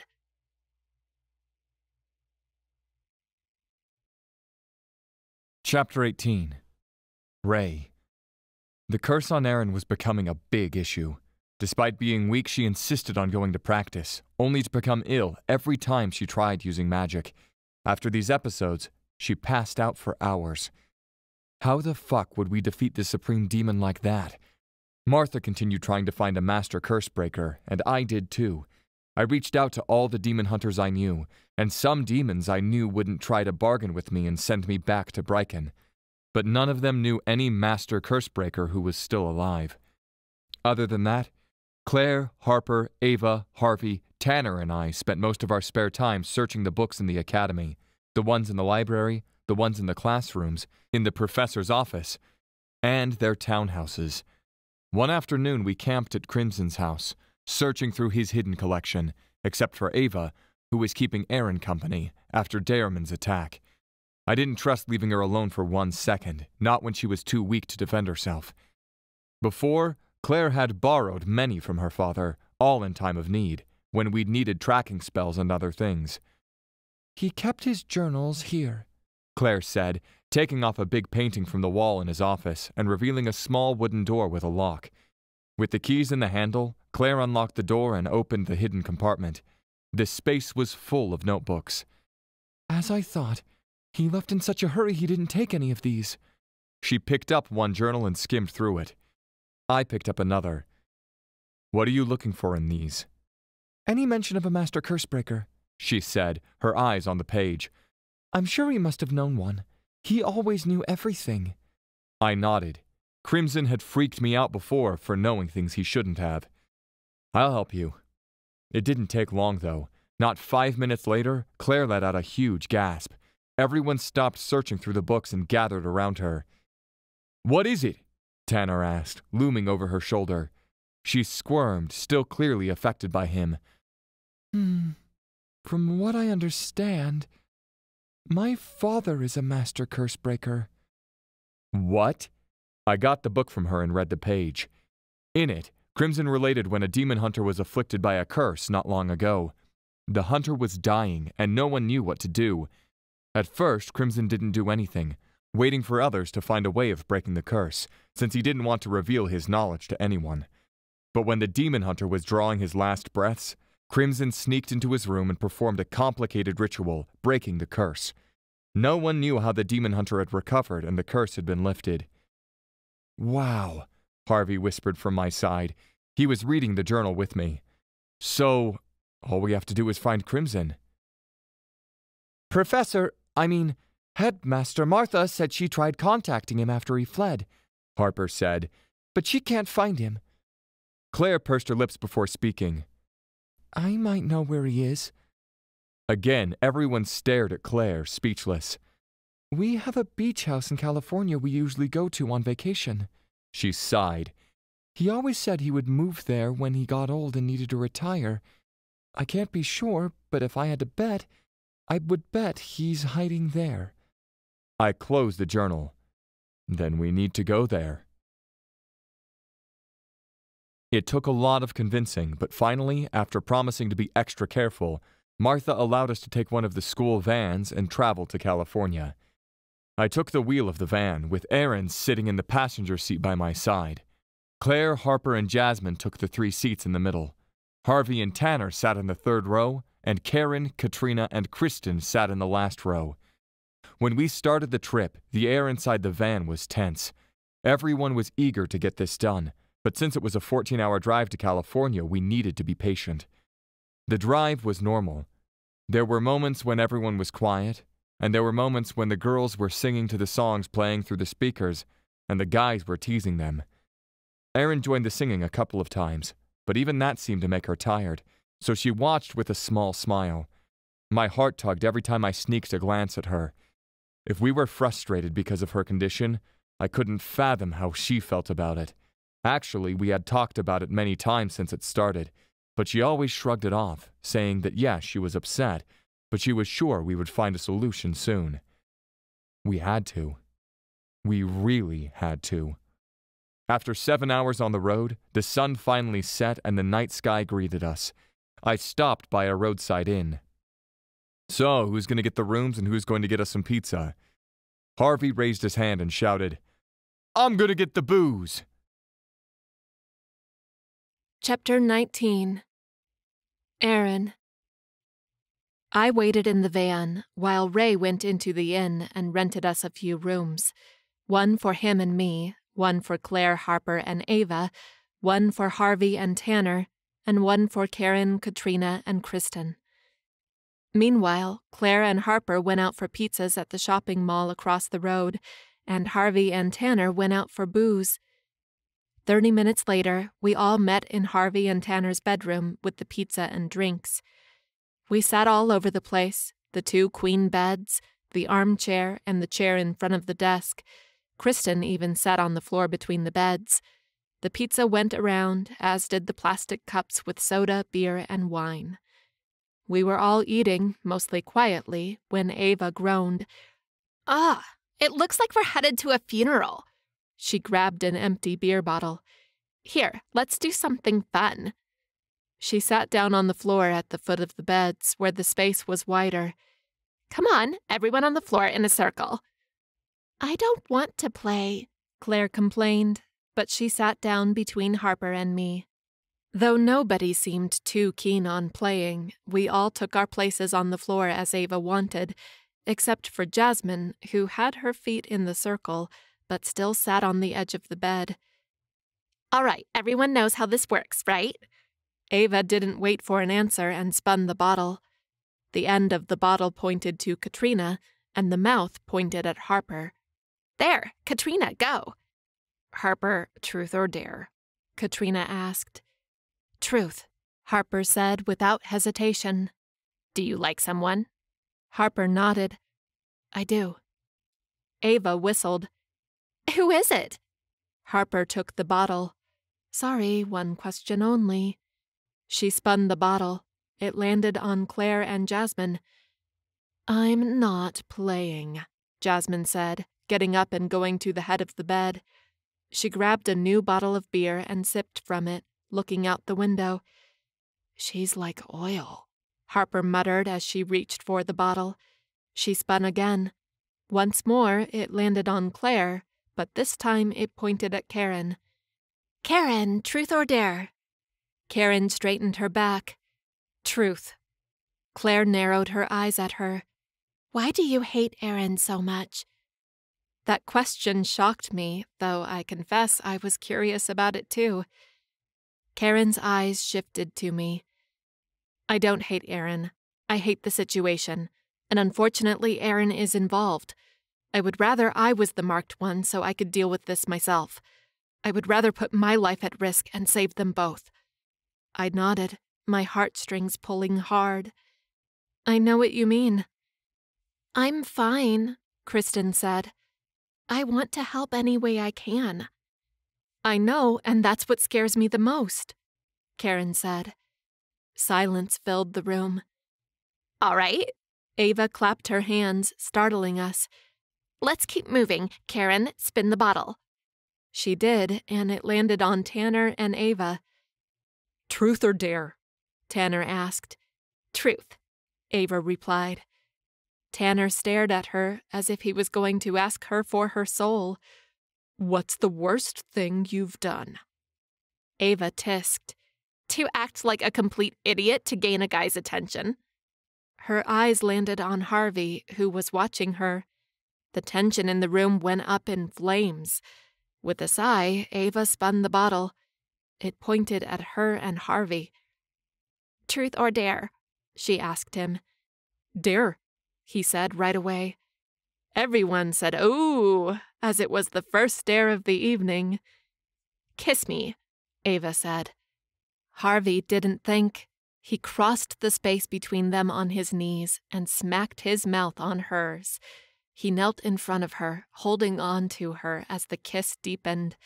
We cheered and clapped, except for Karen, who was covering Kristen's eyes. I thought he would kiss her and we would go on with the game, but Harvey leaned over Ava even more, and soon the two were sprawled on the floor kissing non-stop. We all stepped away from them and turned to the rest of the pizza and the drinks. Karen grabbed Kristen's hand. It's time for us to go to our room, she gestured to Katrina, who nodded in agreement. I wanted to tell them to stay, but I knew Kristen was still too young, and with us drinking and a couple practically going at it in the middle of the room, they should go. I waved them goodbye, then noticed someone else was missing from the room. Jasmine. I took a sip of my wine and handed the plastic cup to Rey. I'll be right back. He watched me like a hawk as I left the room and glanced around, looking for Jasmine. I found her at the corner of the inn, her arms crossed over the railing, a beer bottle in hand, looking up at the night sky. There you are, I said, approaching her. If you're here to convince me to go back to that room, don't bother. I just want to know if everything is okay. Jasmine shrugged. Why do you care? I frowned. Because I'm your sister? Because I'm your friend? Jasmine snorted. Friends. I've never had friends. I leaned on the rail beside her. Never? Jasmine shook her head. People use me because of my powers, even when they didn't know about them. They knew there was something wrong with me. It's always been like that until I decided to actually be a succubus and use them instead. I frowned. My friends are good people. They would never use you. Like you said, your friends. They can be yours too, you know, I told her. All you have to do is let down your walls a little. Jasmine snorted again. Right, because it's that simple. Then do it with me. I offered her a confident smile. I'll be your first friend. I'll always have your back, no matter what. Jasmine squinted at me as if trying to see past a lie. Why? Because that's how friendship works. You trust and you're trusted. I bumped my elbow on her arm. Just give it a try. She rolled her eyes. Only if you stop bothering me. I hooked my arm through hers. That's the thing about friends. They are always bothering you, but in a good way. I tugged her to come with me. She resisted for half a second, but let me guide her back to the room. To my surprise, Ava and Harvey had disappeared, which only left Rey, Claire, Harper, and Tanner. I handed Jasmine another pizza slice, and she seemed to relax a little. We talked, we laughed, we even danced. It was almost midnight when Rey leaned into me and whispered in my ear, If you're feeling well, how about we go to our room now? I bit on my lip. I would love to. He slipped his hand in mine, and without saying good night to anyone, he took me to our bedroom, where, after what seemed like an eternity, we enjoyed ourselves.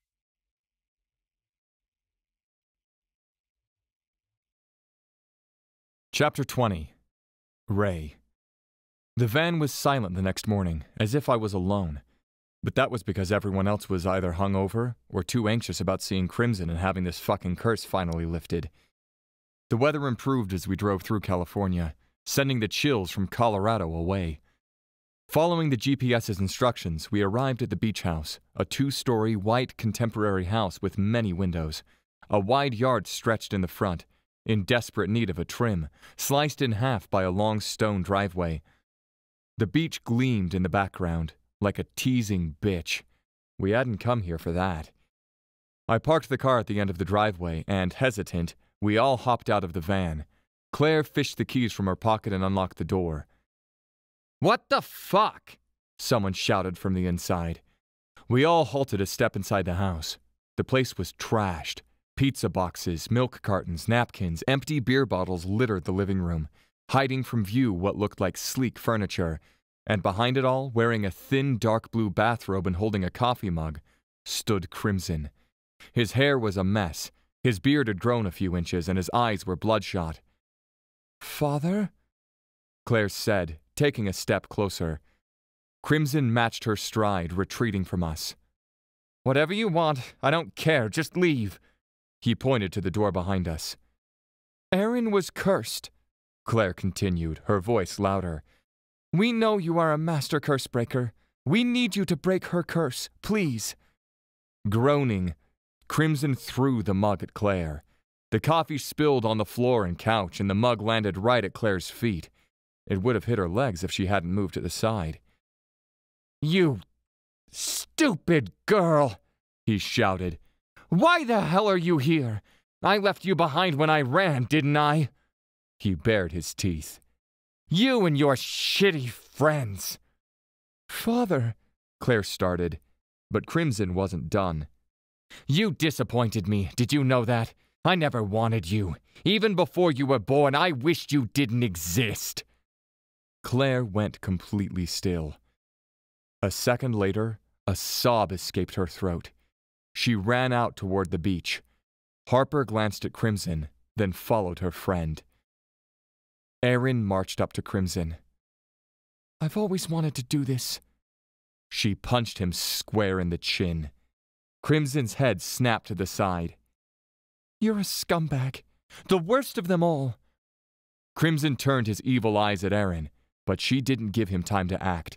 She sidestepped him and went after Claire and Harper. I followed her, trusting the others would keep an eye on Crimson. We followed a wooden path down to the beach, but when we got closer, I held Erin's wrist. Wait, I told her. A few yards from us, Claire sat on the sand, and Harper sat beside her. I'm weak, Claire said, her voice breaking. I'm useless. I knew he never liked me, but it's one thing to suspect it and another to hear it, to have it thrown in your face. She let out a sigh. No one wants me. That's not true, Harper said. You're a brilliant demon hunter. You're smart and beautiful. And I've had a crush on you forever. Claire's eyebrows jumped to her forehead. I. I wish you would be my girlfriend. Harper, Claire started, swallowing hard. I never knew you felt that way. She exhaled. To be honest, I have feelings for you too. I just didn't say anything because I was so hurt after Tanner. I didn't want to get hurt again. You like me too? Harper asked in disbelief. Claire nodded. With a smile, Harper leaned over Claire and kissed her. Erin and I turned, giving them some privacy. Yes, Erin muttered. Finally! I chuckled. At least one good thing came from this trip. A moment later, Claire walked by us, stomping her feet on the path toward the house, Harper hot on her heels. We followed them back. Claire only stopped when she was face to face with Crimson, who still stood in the same spot from before. You know what? I don't care about what you think. I always knew you didn't like me. I didn't even know why I tried. You can go to hell, because I don't need you to feel like I belong. I've found my place. Crimson stared at Claire, his eyes wide, his jaw slack. I bet Claire had never spoken to him like that before, and that stunned him to silence.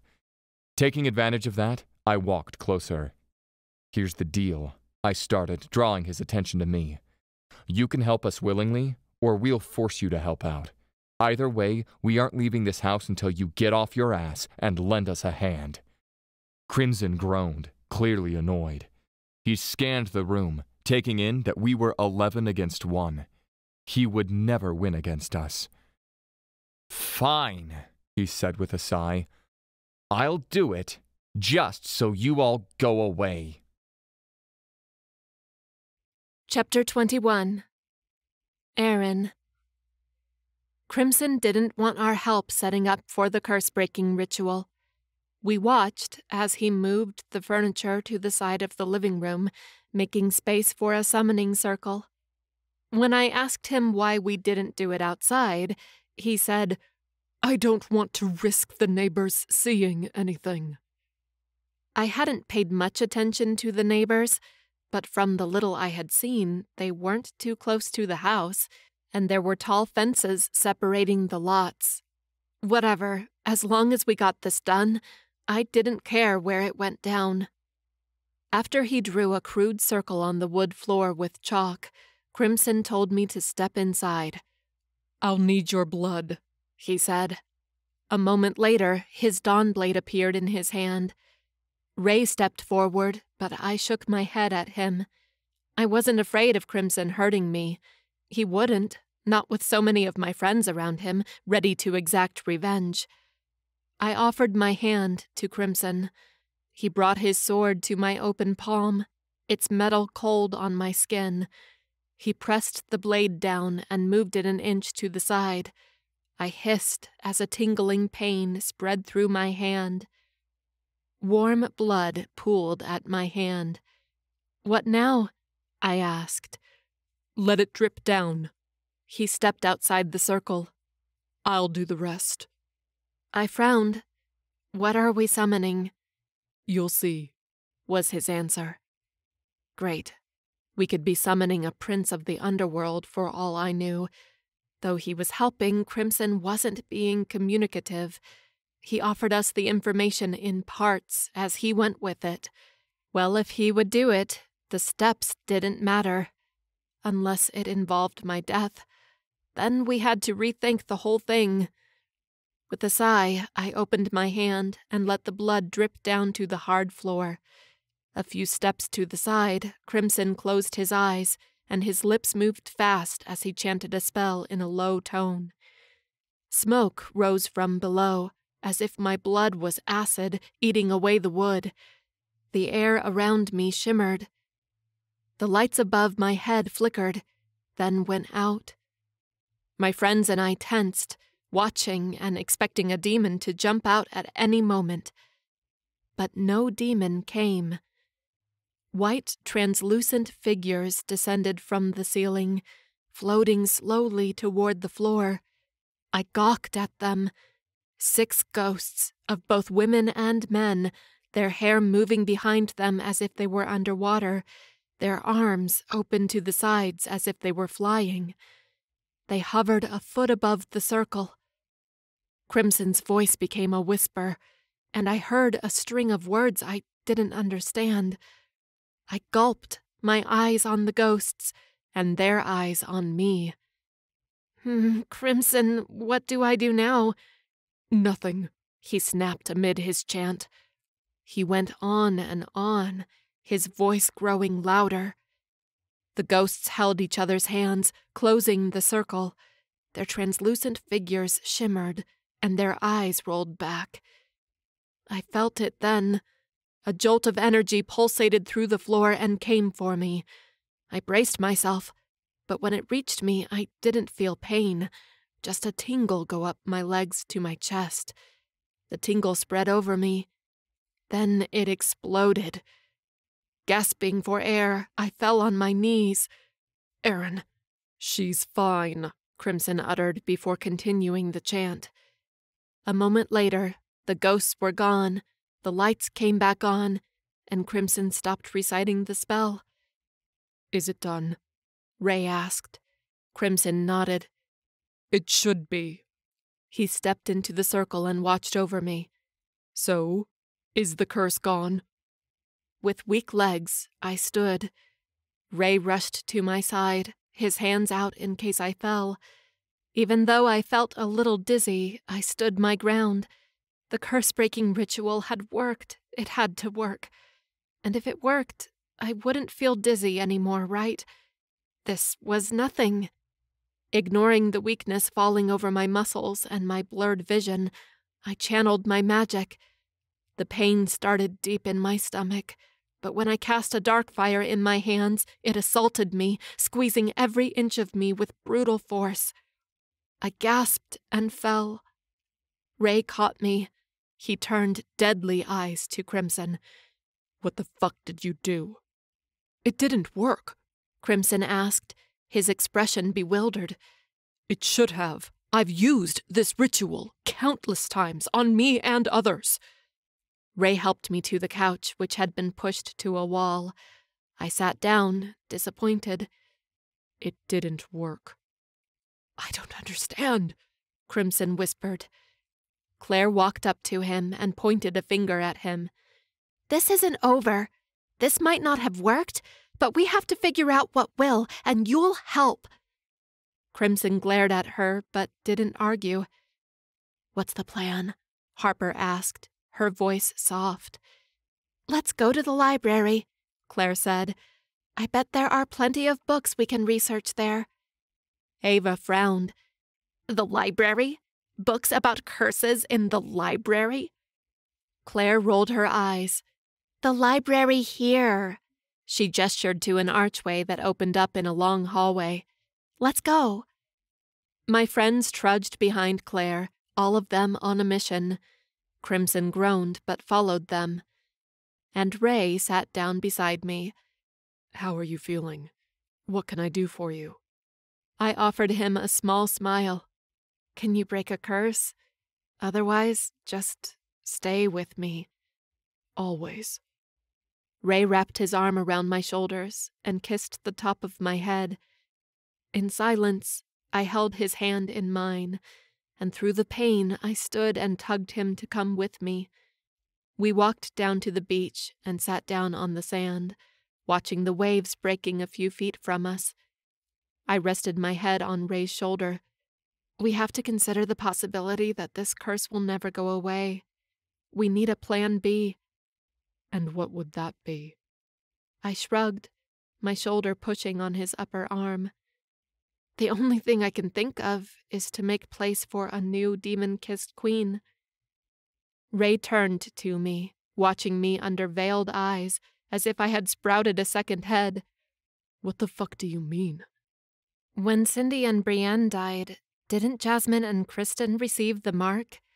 I don't really know how that worked. Maybe Fiona knows if they got the mark before or after. Regardless, there were two other girls with the same mark. I looked down at the mark on my wrist. Maybe if I die, you guys will find a new one. It was the most logical thing I could think of. Of course, I didn't want to die, but I couldn't fight Brikan this way. If I couldn't fight Brikan, he would kill Jasmine and Kristen, and all of our chances of defeating him would be gone. Brikan would be free to imprison the demon hunters and use them to hunt humans instead, just as he always planned. His nostril flaring with an exasperated exhale, Rey grabbed my shoulders. Erin, don't you dare think about dying. It's not a noble cause. It's cowardice. We will beat this damn curse one way or another, and you will be the one to kill Brikan once and for all. His gray eyes softened. And please, never say something like that again. You're my soulmate, Erin, my other half. If you die, I die. He pulled me to him. I sat on his lap, winding my legs around his waist and my arms around his shoulders. I love you, I whispered in his ear. He held me tight against him. I love you more. Chapter 22 Rey. Exhausted from the failed ritual and trying to use her powers again, Erin fell asleep on the beach. I took her inside and set her down at one of the many guest bedrooms. Then, I joined the others at the library. Like the rest of the house, the library was a contemporary room with windows from floor to ceiling, but with thick curtains so the sun wouldn't damage the books, sleek glass tables, and many white shelves. Everyone was seated around the table, skimming through books, trying to find something about the fucking curse. Anything? I asked as I took a place between Kristen and Claire. I knew the answer, but I had to ask anyway. Claire lowered the book she had been reading and shook her head. Nope, I let out a sigh and picked up the top book from the pile in front of me. Then we researched some more. Ava put down her book and narrowed her eyes at me. Did you realize that the curse only started after you came back from the underworld? I had, but it hadn't been exactly like that. Actually, it started about two weeks after. Claire tapped her chin. Tell us about your time with Brikan if you can. Was there anything odd happening? I lowered my gaze, thinking. There was the ritual. Brikan promised to bring my mother and sister back from the dead. I wasn't sure if they had been able to see all that after the shadow trials with Brikan's barrier up around the arena. So he started working on a ritual for that. And what did the ritual entail? Harper asked. I explained to them about the ingredients I retrieved, the pool with the bones, and I drank a potion and Brikan dropped the rest on the pool. Crimson's eyes widened. What were the ingredients in the potion? I frowned, trying to remember. There had been so many. Some of them went directly into the pool water. Baby dragon scale, wing of a living bat, mugwort, yarrow. I went on, listing all the ingredients. Crimson pointed a long finger at me. I know this potion. You do? Claire asked in disbelief. It's not a potion to raise the dead, Crimson continued. Brikan could certainly raise the dead without any potions, I'm sure. Those potion ingredients are used for a demonic potion that destroys magic, which can only be created by the most powerful demons. I frowned. But I raised my hand to my side and conjured a ball of dark fire. My magic is fine. But Erin's isn't, Tanner said with a gasp. Exactly, Crimson said, sounding excited about the discovery. You weren't the target of the curse, Rey. Brikan used you as a carrier. Crimson's gaze fell to my chest. Brikan knows you and Erin share a soul bond. He must be poisoning her through the bond. The blood drained from my face, from my entire body. Brikan could have brought my mother and sister back without any ritual and potions. All along, he was playing me, using me to make the potion that would curse his own daughter, my soulmate. That was why he had let me go in the end, so I would reach Erin and curse her. My heart sank, and I felt sick. So? Claire jumped up, her chair falling back with a loud thud. Rey is the one cursed. Crimson nodded. And? Claire turned to me, a knowing smile on her lips. We need to perform the curse breaking ritual on you. We let Erin sleep as we set up for the ritual again, only this time I stood in the center of the summoning circle. Crimson repeated it all, cutting my palm, chanting the spell, summoning the ghosts. An electric jolt traveled through me and I felt it inside my chest. Like a cord being stretched, the curse broke and dissolved. Its remains were carried away by the ghosts when they disappeared. With wide eyes, Crimson approached me. Did it work? I think so. I looked down at my hands. I guess we'll only know when Erin wakes up. Wake her up now, Jasmine suggested. It was past midnight. I wouldn't wake her up. In fact, I would join her. I thanked Crimson and everyone for their help and sneaked into bed with my soulmate. Erin moved and whimpered as I settled beside her, pulling her to me. Grateful and hopeful, I held on to her as sleep came for me. The next morning, I woke up before Erin by a few minutes. I had just taken a shower and changed into clean clothes when she sat up in bed. I paused, watching her. How are you feeling? She rolled her shoulders. Good? I don't know. It's strange. I feel as if the curse is giving me a break. I nodded. Erin, please, try to summon your magic. Her delicate brows curled down. But you know what happens every time I try. I know, but we need to confirm something. I said, my voice careful, worried. She looked at me for a moment, considering. She probably noticed I was asking this for a reason, so she inhaled deeply and moved her hand, calling out a bolt of dark fire in her hand. With huge eyes, Erin stared at the bolt, then at me. What's going on? Why don't I feel pain? I let out a long breath, so relieved. We found out what happened, I started. I told her about figuring out Brikan had cursed me instead, and performing the curse breaking ritual on me instead of her. She was as shocked as we had been, but right now, I was just glad it had worked. Erin jumped on the bed, the bolt of dark fire growing and becoming a long, dark snake twirling around her. It's gone! The curse is gone! She threw herself at me. With a half smile, I caught her in my arms. I'm sorry, I whispered. Her brow nodded. Why? Because I was passing the curse to you and I didn't even know it. It wasn't your fault, Rey. She placed a kiss on my cheek, then stepped back. So now, we get ready to kick Brikan's ass. She disappeared inside the bathroom for a quick shower. With a satisfied smile, I went around the house, calling everyone. It was time to go. Chapter 23 Erin For the next two weeks, my sisters and I trained nonstop. It was clear how much we improved, and we went from killing one lesser demon with our combined powers to killing a handful of neutral demons. We could also deal with two or three higher demons at a time, but anything more than that, and we failed miserably. Thankfully, Fiona and Rey were always with us, ready to act in case things went awry, and they often did. However, today Rey had a meeting at the Blackthorn Hunters outpost, leaving us alone with Fiona and the demons. Remember, Fiona said one day while the girls and I were on a five minute break.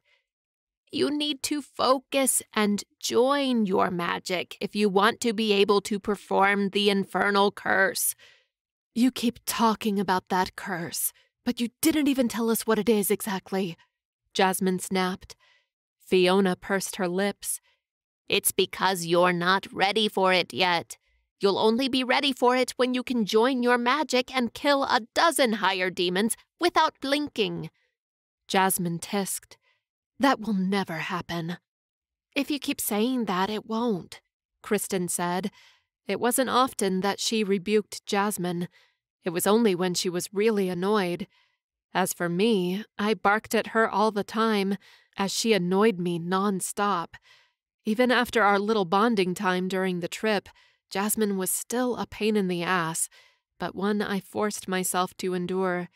When she wanted to be, she was pretty cool. The problem was that she never wanted to. Enough, Fiona said, her voice rippling with power. I think the three of you need a longer break. She waved us off. Come back in an hour. Jasmine didn't waste time. She practically sprinted out of the training room. After a glance at me, she left, probably to go join Karen and Katrina. I sighed. Even though we are progressing, we're getting nowhere, aren't we? Fiona regarded me with her warm gaze. I understand your worry, but you need to relax. Your sisters need to relax too. Only then you'll be able to do what you have to do. And what do I have to do? I asked, knowing she wasn't talking just about combining powers and killing Brikan. Fiona shook her head. First, master this. She gestured to the space around us, indicating our training. Then we'll talk about the rest. I opened my mouth to complain, but shut it again. Almost every day I asked her to tell me more about the infernal curse and the demon kissed queen's prophecy, but she never fell for it. I could push all I wanted right now, but I doubted she would tell me. With a sigh, I whirled on my heels and left the classroom. Outside, I paused at the stone steps and inhaled the fresh, warm air. It was the first week of April, and finally the weather was losing its chilly touch. The snow around the campus was gone, and I prayed it didn't come back. But who knew? It wasn't unheard of for it to snow in April and even in May in Colorado. A black raven circled above my head before diving around the side of the Hyacinth building. A moment later, Rey showed up. Training ended early. Fiona was stressed with us and gave us an hour break, I told him. He stepped to my side and entwined his fingers with mine. So, what will you do this next hour? Talk to my mother. As expected, my mother was in her office, the headmaster's office, which once had been Randall's, then Crimson's and now was hers. It suited her. With her strong personality and perfect posture, it seemed as if she had been born to lead the Academy. Shame the Academy was nowhere as glamorous and famed as it once was. But we would go back to that. Once we defeated Brikan, the Academy would be safe again, and there would be more students than ever. My mother looked at Rey and me. What is it? A few weeks back, you said we would prepare to go to the underworld, I said, starting the conversation. My mother frowned. That was the plan since Rey was there. But Nora got him out, so I don't see why we should go there. That's Brikan's domain. We'll be at a disadvantage. When can we go? When you and your sisters are ready to take him down. I nodded, expecting that exact answer. I cleared my throat, preparing my speech. I feel like we're running out of time. By now, I'm sure Brikan knows we broke the curse and it isn't affecting me anymore. I'm sure he plans on coming for me, for all of us, soon. But we shouldn't stay here, waiting like sitting ducks. We're putting the students and staff of the academy at risk. He won't expect us to go to them. If we go, we'll catch him unprepared. Brikan is never unprepared, my mother said. You know what I mean, I said, my voice firmer. I think we should decide on a date and go. My mother crossed her arms and leaned back on her chair, her eyes on mine. Even if I thought that a surprise attack was a good idea, you and your sisters aren't ready. You still can't perform the infernal curse. I threw my hands down because Fiona won't show us how. She will show you when you're ready for it. I gritted my teeth. What if Brikan comes tomorrow? We still don't know the infernal curse. I shook my head. Knowing the spell isn't the point. When and where we fight is. I want to set a date and go, regardless of everything. Meanwhile, Jasmine, Kristen, and I will work hard on the spell, and we will get it down. But we need to start moving. We don't have an army, we don't have anything right now. If Brikan shows up now, we are all dead. My mother glanced out the window, thinking. Martha, I agree with you that it's imperative Erin and her sisters learn the infernal curse. But Erin has a point, Rey said, his voice calm but crisp, like a true professor. We talked to some demon hunters here and there, but we still don't have enough allies to fight Brikan if he comes. And we all know he won't come alone. My mother turned her cool gaze to Rey. What do you suggest, then? We do as Erin says, Rey continued. We schedule a date, even if in the end we push it back, but it'll give a goal, a reason to push harder. Erin will train more, and the rest of us will put together our own army. A sigh escaped my mother's lips. She leaned forward on her desk and steepled her fingers. I'll call a meeting. My conversation with my mother didn't go exactly as I envisioned, but it went well. An hour later, instead of going back to the training room, Rey and I met my mother, my friends, and Fiona in the largest meeting room in the Astor building. Soon other people trickled in Professors Genevieve, Astrid, Wesley, Eleanor, and demon hunters Hadrian, Elaine, Nora, Doreen, Caitlin, and Theory. When everyone was seated and quiet, my mother started the meeting. I've called you all here because I've come to a decision, she said her voice loud and clear. We'll attack the underworld in ten days. Murmurs spread through the room. I need to know which of you will go with us. Everyone raised their hands, except for Elaine. My mother didn't call him out on it, though. Do you think we'll be enough? Nora asked. My mother shook her head. No. We need to call the other hunter outposts and invite them all to come. If you have other allies in the supernatural world, this is the time to ask for their help. She looked at each one of us, a piercing gaze I felt deep in my bones. This battle won't be easy, and we might fail, but hopefully we'll rid the world of the biggest evil of all. The demon hunters clapped, and we joined them. We cheered my mother's words, even though deep down worry took root, a worry I had brought on myself. I only had ten days to master the spells with my sisters and learn the infernal curse.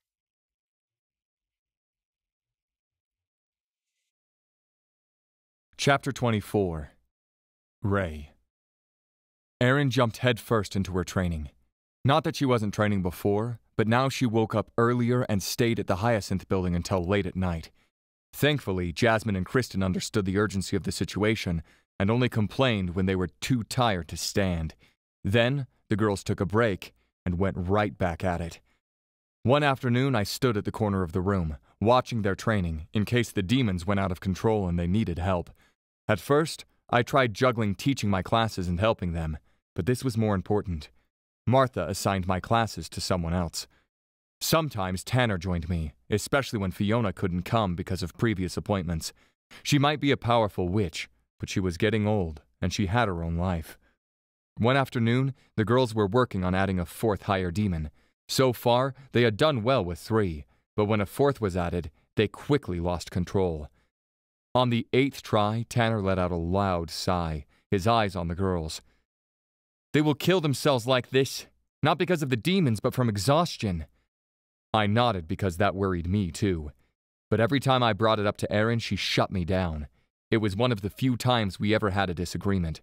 So I didn't push it, mostly because I knew I was wasting my time. They have to do this, I said, repeating the words Erin had told me so many times these past days. Don't you wonder about the prophecy? he asked, changing the subject. There must be a reason why Fiona hasn't told us, told them more about it. I did wonder about that. I wondered about that all the time. Fiona said she shouldn't tell us more about it, otherwise they would fail. See, Tanner said with a bite, One more reason to be curious and suspicious about the entire thing. He frowned.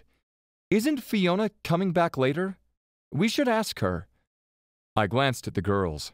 They had subdued two higher demons, but the intense training was taking its toll. They were too tired to be effective. The other two demons advanced on them, and they barely had time to react. Tanner and I stepped forward. I raised a shield of dark fire between the girls and the demons, while Tanner wrapped his magic around the demons. I lowered the shield and helped him, taking the demons by a magical leash to the enchanted and reinforced storage room on the other side of the training room. The girls sat down on the mat, breathing hard. My brows curled down. Why don't you three take a break? Go eat something, nap if you need to. Be back here in an hour. I turned to Tanner. Let's go. After a glance and a soft smile at Erin, who was lying on the mat, practically comatose, I walked out of the classroom with Tanner. What is it? he asked as we exited the building.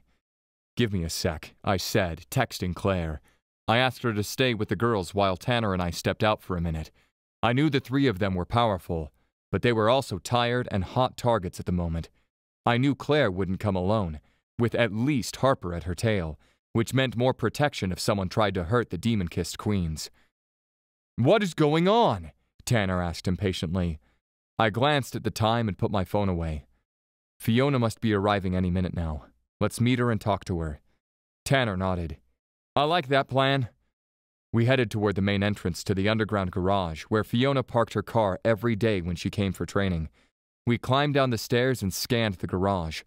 Not ten seconds later, a sedan entered the garage and took one of the visitor spots near the stairs. Fiona exited the car, a knot in her brow. What's the matter? Directly to the point, Tanner muttered under his breath. We waited for her to approach us at the base of the stairs. Then I asked, Fiona, please tell us the meaning of the demon kissed queen prophecy. She shook her head. I've already told the girls, Rey. I can't tell you. That's bullshit, Tanner snapped. Hey, I slapped his chest. Don't mind him, I said to Fiona. Why can't you tell us? Because the girls won't continue if you do? That only makes us want to know more. Fiona let out a long sigh. Rey, it's not the other girls I'm worried about. It's Erin. She won't want to continue if she knows what the prophecy means. My heart seized in my chest. What is that supposed to mean? The three demon kissed queens, daughters of the supreme demon, are destined to kill he who shall demand a great sacrifice, she uttered. That's part of the prophecy's wording. So, the wheels in my mind spun fast, trying to make sense of what she was saying. The girls will have to make a great sacrifice. My blood chilled. Erin will have to make a great sacrifice. I've said too much. Fiona shook her head, pressing her lips tight. But it's true. A great sacrifice from Erin. If she does not, all will be lost and the supernatural world will be thrown into chaos. King Brikan will rise from the underworld and rule everyone, everything. I gulped, afraid of my next words. Erin is going to die, isn't she? That's the sacrifice, right? Her life? I can't say more. She started for the stairs, but then stopped at the first step. It won't be an easy choice, Rey. It'll hurt her. It'll scar her. And that's why she can't know about it now. Just stay close to her side and take care of her. With a last glance full of pity, Fiona turned and went up the stairs. Once she disappeared on the ground level, Tanner turned to me. What was that shit about? Erin will die? That's crazy! It was crazy. It was. I couldn't think about it. I wouldn't allow Erin to sacrifice her life for us. Because that was what Fiona meant, right? That was why she told me to stay beside Erin now, because later Erin would be gone. I understood the concept of sacrificing one life to save thousands, millions even. But I didn't care. I wouldn't let Erin die. I couldn't. I had to convince Erin to back down from her fight against Brikan. Chapter 25 Erin It was the last day before we marched into the underworld, and Jasmine, Kristen, and I still couldn't kill a bunch of higher demons with our combined magic. We had improved, now taking care of five higher demons, with great effort, but it was still not enough. I had convinced my mother to set a date. She had gotten an army of demon hunters together, and they were all counting on my sisters and me. And yet, despite the countless hours we had trained, we still couldn't do it. And because of that, Fiona hadn't told us how to enact the infernal curse. What bothered me the most was that in the past few days, Jasmine and Kristen had improved so much. Their magic linked as one the moment they started fighting, but mine didn't. It took me a lot of time and effort to join my magic with theirs. I never thought I would be the weak link between the three of us. But here I was, the reason we still didn't know the infernal curse. And the thing was, I didn't even know how. After being freed from the curse Brikan had passed on to me through Rey, I had been fine and well, strong even. It should work. To make things worse, Rey had been acting weird, as if he was hiding something from me. He was still caring and present, always treating me right and being there for me. And at night he cooked for me, and he held me in his bed when I was too sore to do anything more than sleep. But behind all that, I noticed in the sweet way he spoke, in his lingering gaze, in his reverent touches, that he was hiding something, keeping something from me. I wondered if I should force it out of him, but if he didn't tell me, it was because he wasn't ready yet, or because it wasn't that important. Either way, I knew he would tell me when the time was right, so I waited, pretending I didn't notice anything. I'm done, Jasmine said, sitting down on the mat, her breathing fast. I can't take it anymore. Just one more time, I insisted. I glanced at the clock on the wall. It was already seven in the evening. We would be marching into the underworld tomorrow at dawn. I knew we should get a good night's sleep, but who was I kidding? I wasn't going to be able to sleep tonight. So it was better if we kept on training. Please, Jasmine shook her head, her ponytail swishing side to side. No way. Aren't you two going to Ava's party? Kristen asked. I rolled my eyes. Typical of Ava. Early this morning, she sent a text to everyone, summoning us for a big party before the final battle. She wanted everyone to relax and have a good time before we all marched to what would probably be our deaths. Tanner, who had been watching us with Rey at the corner of the room, approached us with a sly grin. I'm just waiting for you three to call it quits, then I'm heading there. I don't think I'm going, I said, looking at Rey, who made his way to us. I would rather either train or sleep. You know what? Jasmine jumped to her feet. I'm going. This might be the last time I drink or dance in my life, so why not? She shrugged. I'm out. She sashayed out of the classroom, moving her hips more than necessary, like a top model on the catwalk. I think I'm going, Kristen said. With Karen and Katrina, of course. They wanted to relax a little before, you know. She didn't finish her sentence. We all knew Karen and Katrina were way too worried about her especially because the two of them weren't trained hunters and wouldn't be going with us. After a wave of her fingers, Kristen left. Tanner winked at us. I'm out to party. See you two later. He also walked out the classroom, leaving Rey and me alone. Rey reached up and tucked a loose strand of hair around my ear. So you don't want to go to the party? I scrunched my nose. By the time I take a shower, change, apply some makeup, it'll be too late. Rey slid his hands down my arms and caught my hands in his. I don't feel like going either, but if you want to, I'll go with you. I took a step closer to him, even though I knew I was sweaty and stinky. At least he loved me anyway. I would rather spend this last night with you. this last night, Rey whispered, his shoulders dropping. Suddenly he stiffened, and his gray eyes turned silver with urgency. Erin, please, I beg you, don't go tomorrow. I took a step back, making him drop my hands. What? Where is this coming from? Call off the attack, he continued, a slight tremble in his voice. Or better yet, let's run. Remember, we talked about that before the shadow trials. We should do it now. Just pack a few things and go. I shook my head. Rey, what's going on? He shut his eyes for a moment and took a deep breath. When he fixed his eyes on mine again, they were full of fear. Fiona told me you'll have to make a great sacrifice tomorrow. That was what she said she saw in the prophecy. That's what the prophecy means.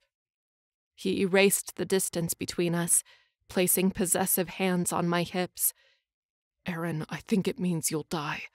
And I won't let you die. I can't. You can't die. So that was what he had been hiding from me. He had found out what the prophecy meant, what would come to pass. Even though it wasn't clear, he had assumed I was going to die. I frowned, not liking this ending. But if it came to that, would I run like a coward and let everyone else face Brikan by themselves? Jasmine and Kristen wouldn't be able to defeat him without me. I couldn't leave everyone, my sisters, my friends, my mother, the demon hunters, to die in my place. A lump rose to my throat, but I pushed it down. No, I would stand tall and do what I had to. If this great sacrifice was my death, then I would deal with it when the time came. I brought my hand to his face and gently cupped his cheek. Rey, I want you to forget about the prophecy. He blinked. But. At least for tonight, forget about the prophecy. Forget what Fiona told you. I stroked my thumb on his high cheekbone. I might not want to go to Ava's party, but I would love to party with you. Just me and you. I slipped my hand from his cheek to his nape and tugged him to me. Rey didn't resist. With a groan, he crashed into me, taking my mouth into his. He wrapped his arms around me and held me against him as if he could twist us together, a never breaking single body. And I hung on to him as he pushed me to the wall and stripped me of my clothes. If this was my last night with him, we had to make it count.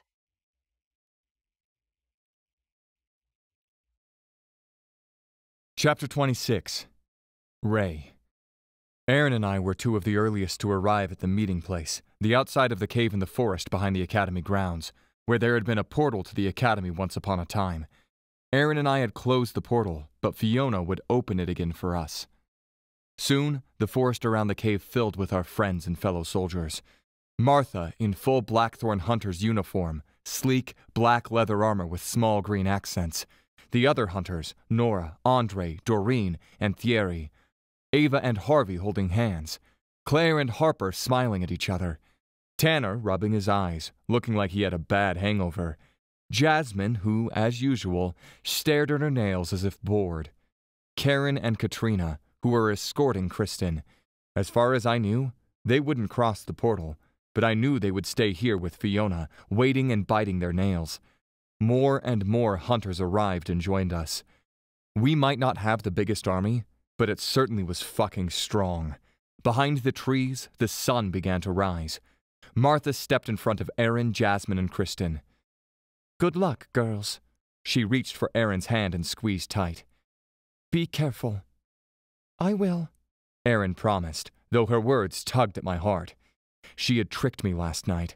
She pushed herself at me, as if I could refuse touching her, making love to her, erasing the troubled thoughts from my mind.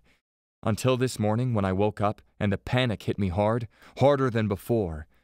I wanted to drop to my knees and fucking beg her to run with me. But I knew better than to ask her that. Erin would never back down from a fight. And that was one of the many reasons I loved her. Everyone ready, Martha shouted. She glanced at Fiona and gave her a slight dip of her chin. Fiona raised her hands above her head, calling her magic. She chanted in the witch's language.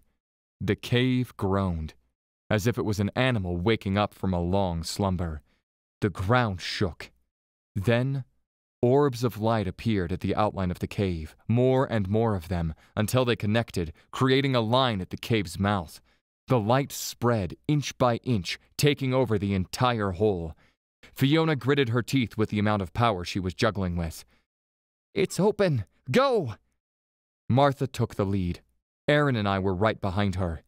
We marched through the portal, right into the darkness of the underworld. We had come through the portal just outside the archway that bordered Brikan's castle, right where we wanted. I glanced around, but saw nothing more than dark rocks on the ground, the dark mountain in the distance, and the archway to our right. This way, I called, as Martha had instructed. Because I had been here, because I had entered his black palace, I would lead us all here. We entered the archway and followed the long stone path, cutting through the red lava lake, the black palace growing bigger and imposing before us. Although one thing felt odd no demons attacked us. I paused before the black stone steps leading to the castle's main door and closed my fist in the air. Everyone stopped behind me. This isn't right, I said in a low voice. I know, Erin whispered back. No one attacked us yet. I admit this is odd, but we should celebrate the small things, Martha said. Let's keep moving. I glanced at Erin and held her hand in mine for a second. We went through the door, shoving them open wide, and burst into the castle. A throng of demons greeted us Muttmogs, Dark Elves, and so many others. Spread out! Martha shouted over the clank of metal from the dawn blades cutting through the demon's flesh, and the grunts and groans coming from our soldiers. Instantly, Nora went left and Andre went right, taking most of our army with them. The idea was to clear the palace, while the rest of us went to Brikan's chambers and killed him. Martha, Tanner, Harvey, Ava, Harper, Claire, Jasmine, Kristen, Erin, and I. We fought our way up the stairs, across the wide corridor, and into Brikan's chambers. We paused as the doors flew open. Alone, in the center of the first room and in his human form, Brikan smiled at us. Well, well, well. I wasn't expecting you so soon. He smoothed the jacket of his suit. If I knew you were coming, I would have worn something a little more appropriate, don't you think? I pointed my Dawnblade at Brikan. Stop being a motherfucker. Surrender now and we'll kill you mercifully. Brikan pouted. Or what? Erin and her sister stepped forward their heads high. We'll kill you, Erin said. Brikan tisked. Oh, my dear Erin, my offer still stands. He extended his hand toward her. Join me, and let's take over the world together. Erin rolled her eyes. Do I really need to answer that? She called her dark fire. The magic enveloped her hands and her arms like black fire. Your last chance, she warned. Brikan's lips stretched in a wide smile. Do your best.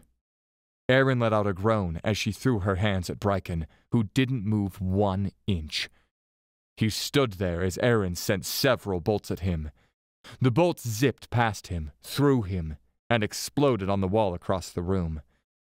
Brikan's body faded away like smoke. His laughter echoed through the room. What the hell was that? Erin asked, her eyes wide. An illusion, Martha said, her voice tight. You mean? My stomach dropped. Brikan isn't here, Martha confirmed. If he isn't here, then where is he? Kristen asked, her voice full of determination. Erin's face paled as realization hit her.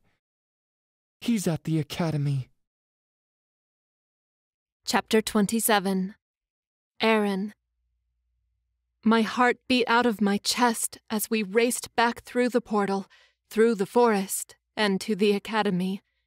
Once we crossed the last line of trees and faced the outer northeast wall, we all faltered. The sun was rising, staining the sky with warm oranges and red. Such a perfect view, tainted by one of my worst nightmares. Demons descended in droves down from the skies, smoke billowed from the buildings, and screams filled the morning air. Holy fuck, Rey muttered beside me. Let's go, my mother shouted, raising her dawn blade above her head. With renewed purpose, we ran to the academy. We crossed the gate and joined the fray. With our powers and dawn blades, we cut through the demons, trying to advance toward the center of the academy. We found Thierry leading a group of demon hunters at the track behind the Hyacinth building. Thank goodness you're here, he panted. His forehead was slick with sweat, and his hands smeared with blood, but not his. What happened? Rey asked, his voice tight. A mutamog jumped on Thierry's back, but one of the other demon hunters caught it before the demon caused any damage. As soon as you were gone, they just appeared, he explained, his eyes round. They swarmed us, and we barely had time to react. Where's Brikan? My mother asked, her face a mask of steel. If she was feeling something with the perspective of finally facing my father, she didn't show it. I haven't seen him, Thierry said, but I heard shouts that he was here, at the Astor building. My mother looked at me, at Rey, at my friends. We can't waste any time. We have to cut through these demons. Don't stop for anything, only to take down the demons in our path. Understood? Everybody said yes. I'll help. Thierry twirled the dawn blade in his hand. Guys, clear a path, he shouted, commanding his group. To the front of the Hyacinth building, now!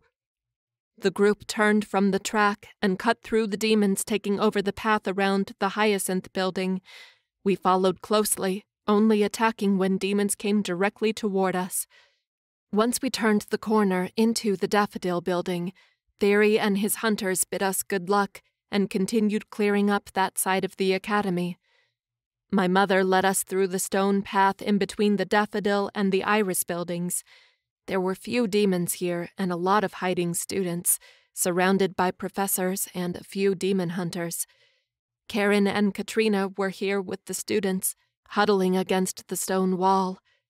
Nora was one of them. As we approached her, I saw blood dripping down a nasty cut on her left shoulder. How are you holding up? I asked, tipping my chin toward her wound. She rolled her shoulders, showing me it didn't hurt too bad. I'll survive. She let out a long sigh, though I can't say the same about the academy. Thierry told us Brikan was in the Astor building, my mother said. Is he still there? Last time I saw him, he was exiting the building, Nora said, but I don't know where he went after that. My mother cursed under her breath. We can't waste time looking for him. As if answering her, a loud crack split the air, and the ground shook slightly. We glanced around the courtyard. And there he was. The supreme demon in his terrible true form, beside the blackthorn tree. Fiona and a small group of witches, who the hell were they, stood to the side, throwing their magic at Brikan and the dozens of demons around him, but the king of the underworld easily deflected it all. My mother glanced at me and my sisters, her eyes hard. Are you three ready? I exchanged a tense look with my sisters. We hadn't mastered the joining of our powers yet, and we didn't know anything about the infernal curse. But we would do it. We would find a way. We had to. I nodded at my mother. We are. I'll help you get there, Nora said. Professor Genevieve joined our group. Me too. Then let's go, my mother said, her tone harsh. Ready. Nora and Professor Genevieve took the lead, opening a path through the demons. Ava, Harvey, and Tanner darted forward, helping them. Soon we reached the edge of the courtyard. and Brikan saw us. His lips curled back into a wicked smile, showing off his sharp teeth. My dear daughters, he said, his voice hoarse but loud. In that moment, the battle paused. The demons pulled back, surrounding their king, and the demon hunters spread across the courtyard, joined us. They formed a long line beside us, facing Brikan and his demons, their dawn blades at the ready. Call your demons off, I shouted. Surrender now and die with honor. I didn't even know why I was giving him this option. I knew he would never accept it. Brikan let out a boisterous laughter. You really think you can defeat me? That's pathetic. I expected more from you, Erin. He tisked. If only you had joined me. Don't waste your time talking to him, my mother hissed from beside me.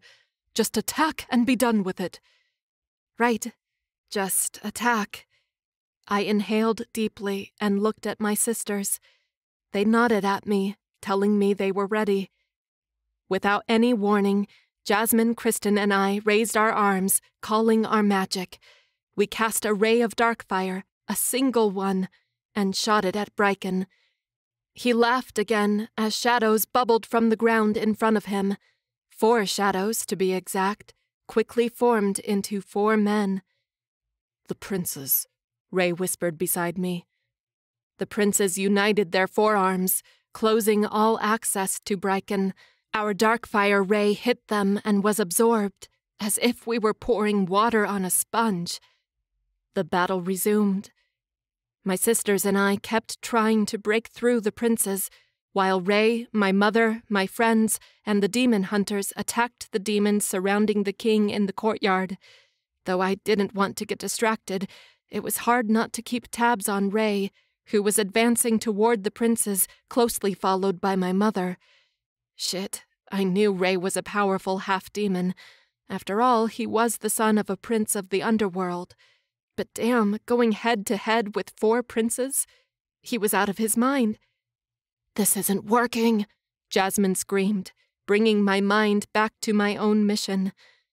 Our power was flying too fast, and we were draining ourselves of magic and stamina. Keep going, girls, Fiona said, coming to stand beside us. We'll help you. Fiona and her witches joined my sisters and me, using their own magic to weaken the princes. Two of the princes turned, leaving their formation. No doubt Rey and my mother had engaged them in a fight. I pressed my eyes shut for a moment and focused. It's too hard, Kristen said through gritted teeth. Keep going, Fiona instructed. We've almost broken through. A prince turned away, following Nora's and Genevieve's taunts. All right, just one prince. We can do this, I shouted, forcing more of my power into the stream of dark fire. The prince didn't stand there waiting to be obliterated. With the others gone, he couldn't absorb all of our power. So he attacked. He came at us, baring his fangs. More! Fiona screamed. We sent more power. The ray of dark fire grew thicker, darker. It hit the prince in the chest, delaying his advance. The prince's skin started glowing orange. First his hands, then his neck, and last his face. We held the spell as the prince burned from the inside out. His body trembling, he fell to his knees. His skin charred, and a terrible burnt smell reached my nose. With a last gasp, the prince's body crumbled like ashes. The spell broke. The girls and I leaned forward, our hands on our knees, breathing hard. One down, three to go.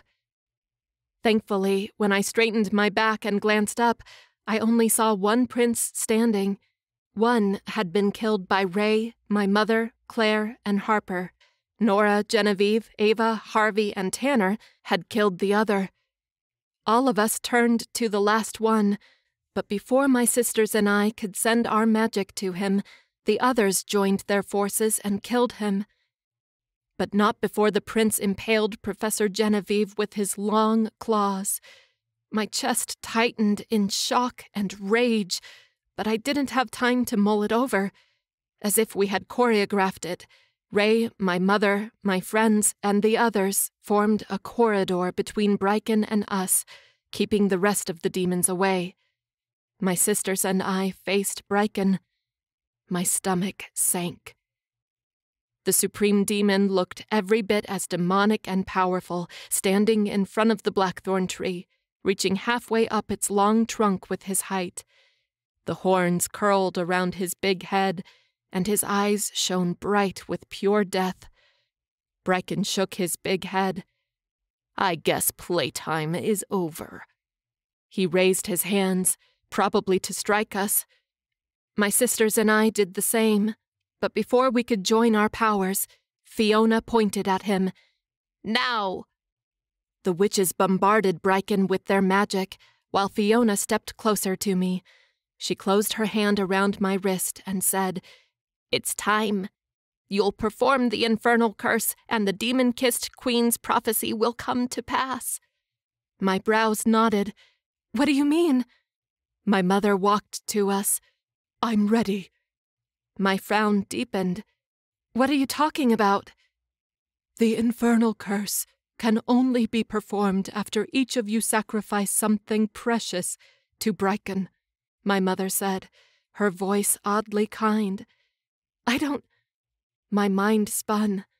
What were they talking about? Jasmine and Kristen lost their mothers to Brikan, Fiona said. They sacrificed themselves to save their daughters. I looked from Fiona to my mother, the words sinking in. No, no, no! I clutched my mother's arm as my chest tightened. You can't do that. You can't. I can't. A sob broke my throat. I can't lose you. My mother patted my hand in her arm. You won't lose me. I'll always be with you. I shook my head, my vision blurring with tears. There has to be another way. There isn't, Erin, my mother said. She pulled my hand from her arm. With a soft smile, she leaned into me and pressed a kiss on my forehead. Remember, I'm so proud of you. I love you, Erin. Then she was gone. Fiona held on to my hand as my mother turned and rushed Brikan. Knowing exactly what to do, the witches drew their spells back. My mother jumped Brikan and pushed him back until his back hit the blackthorn tree. Now this is the infernal curse, Fiona said. Join your powers and send the dark fire at the tree. The girls acted right away, but all I could do was stare as my mother struggled with Brikan. He was playing with her, letting her think she was winning. How terrible it must be for her to be facing him at this moment after he'd tricked her over twenty years ago. Fiona shook my shoulder. Erin, now! I snapped out of it. Not trusting myself, I just acted. I merged my magic with my sister's, and our dark fire infused the tree. A few seconds later, the tree shuddered and its trunk grew. The black trunk of the tree wrapped around Brikan's body, trapping him in the tree. Caught by surprise, he roared, his power rippling out in a big wave. We ducked missing its hit by an inch. But others hadn't been fortunate. Several hunters fell down, either passed out or hurting. And my mother's body fell on the ground at Brikan's feet. I stopped breathing. No, don't close up yet, Fiona said, placing herself in my line of sight. It's almost done. Focus. I turned my eyes to hers, though I wasn't seeing much. Erin, summon your Dawnblade. I did, the sword appearing in my hand with a single thought. Girls, here's what you have to do. I didn't listen. I was too deep in myself, lost to dark thoughts, rage, and grief. I dragged my feet along with Jasmine and Kristen as they advanced toward a jerking, screaming Brikan. Someone dragged a body to the side as the girls and I took the last few steps before halting in front of the Supreme Demon. He spewed some nonsense, but my mind was too addled for me to understand. Until he said, Martha deserved it. It was so easy to trick her when she was young and she seemed to be just as stupid now. Oh, that did it. Suddenly, all of Fiona's words made sense, and I snapped out of my trance. I held on to rage as I lifted the dawn blade. Jasmine and Kristen wrapped their hands around the hilt with mine, and we infused the sword with our dark fire, all of it, all we could. Then we plunged it into Brikan's chest. The magic exploded everywhere in our hands, our arms, into the demon, through the tree, in the air around us. It was so strong, it sent the three of us skidding back a couple of feet. Then it all stopped, and we watched the supreme demon as he gasped, his fang filled mouth going slack. His eyes rolled back. Next, his body started shimmering, until it too became ashes at the roots of the blackthorn tree. Still alive with our power, the tree grew a little more, raising one of its thick roots and scooping the ashes into the earth. King Brikan was dead.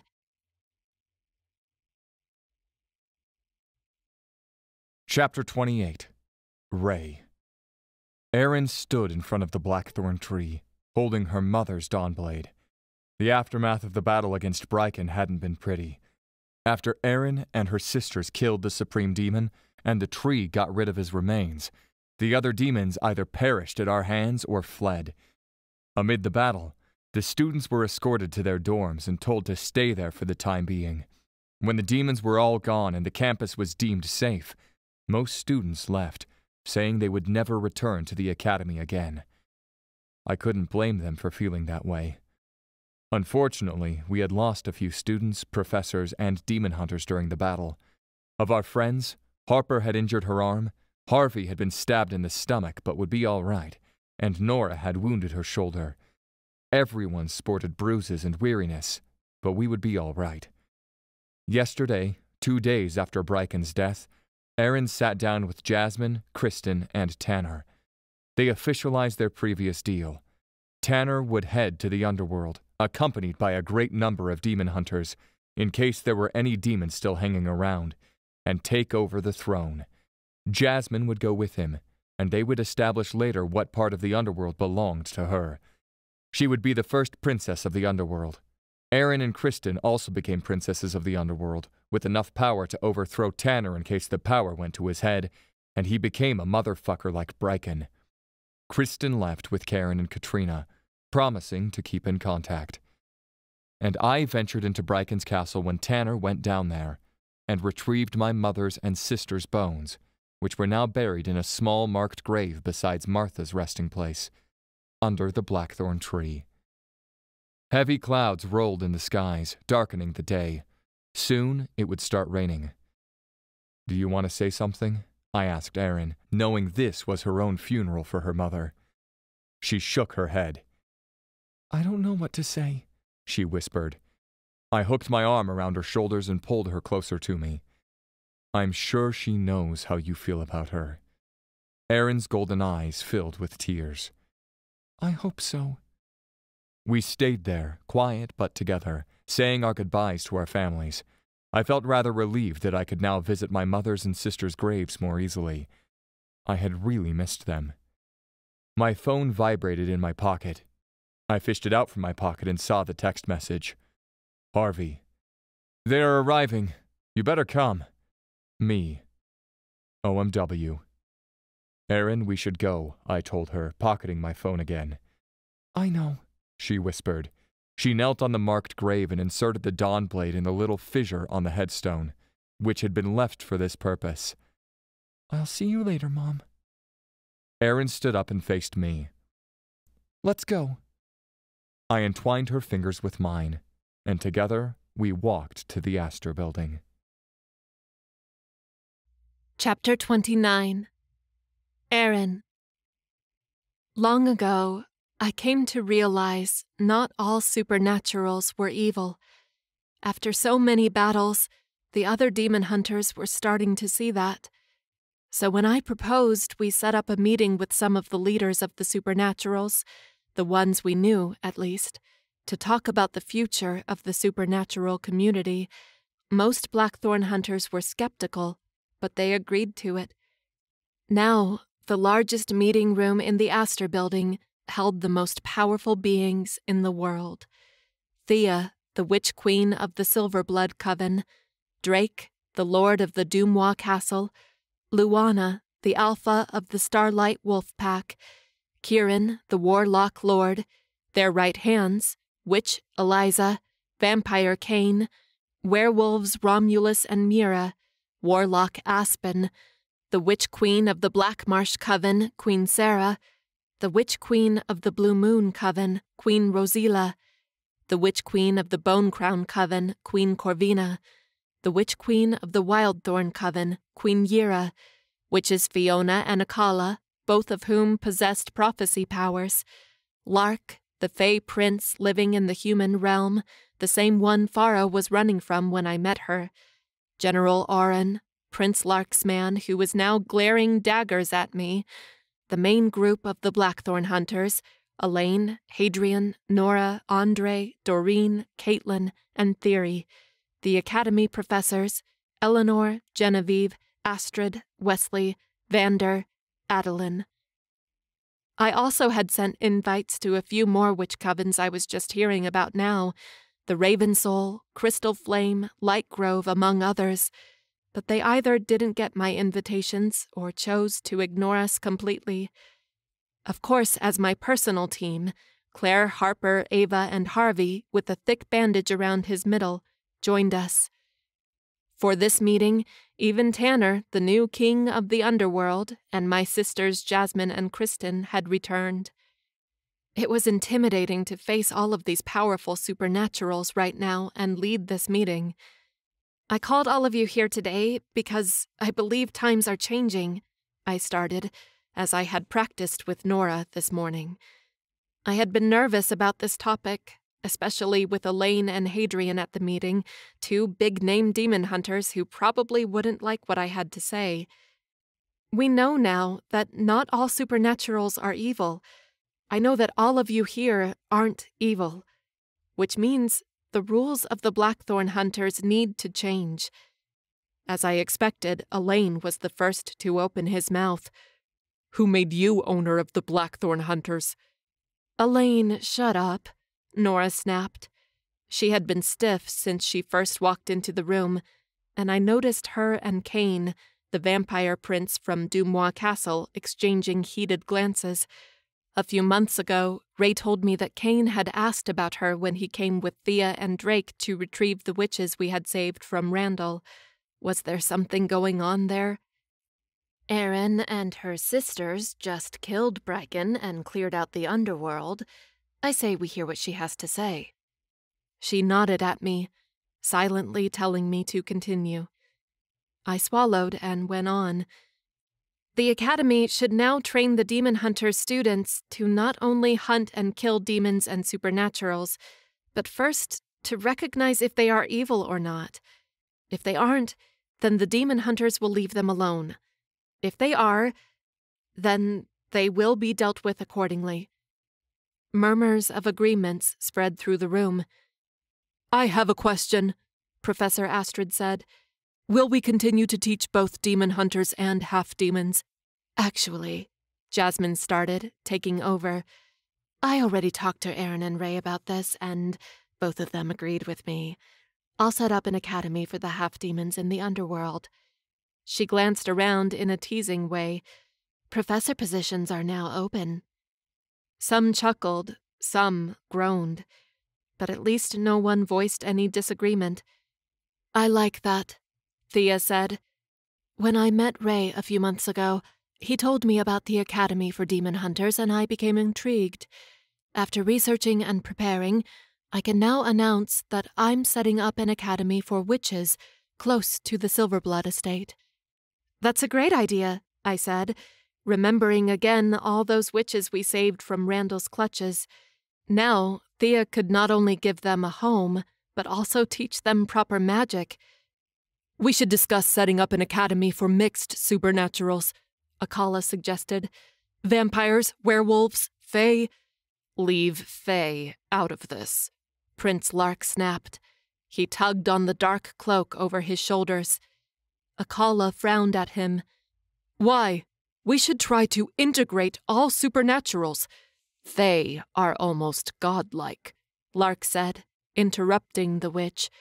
Do you think we want to mix up with others? He glanced around the room, disgust clear in his dark eyes. You know what? I shouldn't even be here. He gestured for General Auron, and the two of them marched out of the room.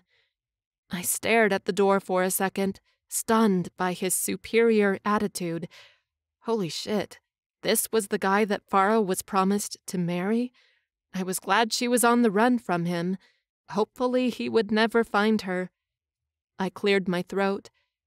All right, that is that, I said, moving on. We should talk more about this mixed supernatural school. It's definitely a good idea. Speaking of academies, how about we focus on this one for a moment more? Professor Eleanor said. Like, we don't have a headmaster anymore. Who will run this academy? Rey, Nora said without hesitation. Beside me, Rey stiffened. What? No. I second that, Thierry said, surprising me. With our brief past, I thought he kind of hated Rey's guts. Andre nodded. Thirded. The idea spread like wildfire, and soon everyone was agreeing that Rey was the best candidate to take over the mantle of headmaster of the Blackthorn Hunters Academy. Just accept it, Rey, Nora insisted. You are the best person for the job. I glanced at him. How do you feel about it? He stood taller, like a powerful headmaster. I'm fucking stunned, but also honored. If you really believe this is the right path. His eyes scanned the crowd. Then I accepted. Congratulations, Headmaster Rey, I said with a smile. We talked about a few more details what to do with the rest of the semester, about campus security, the new academies, etc. Then we moved on to the dining room where we could celebrate new beginnings. As headmaster, Rey sat at the head of the table and I sat to his right. The food was served, the drinks were passed around, chatter spread, laughter echoed. I glanced at everyone at the table demon hunters, half demons, witches, vampires, werewolves, everyone fraternizing as friends. This was the world we needed right now. Across the table, Rey took my hand in his, entwining our fingers. Is this what you imagined? I smiled at him. It's even better. And with him by my side, I was sure everything would be even better from now on.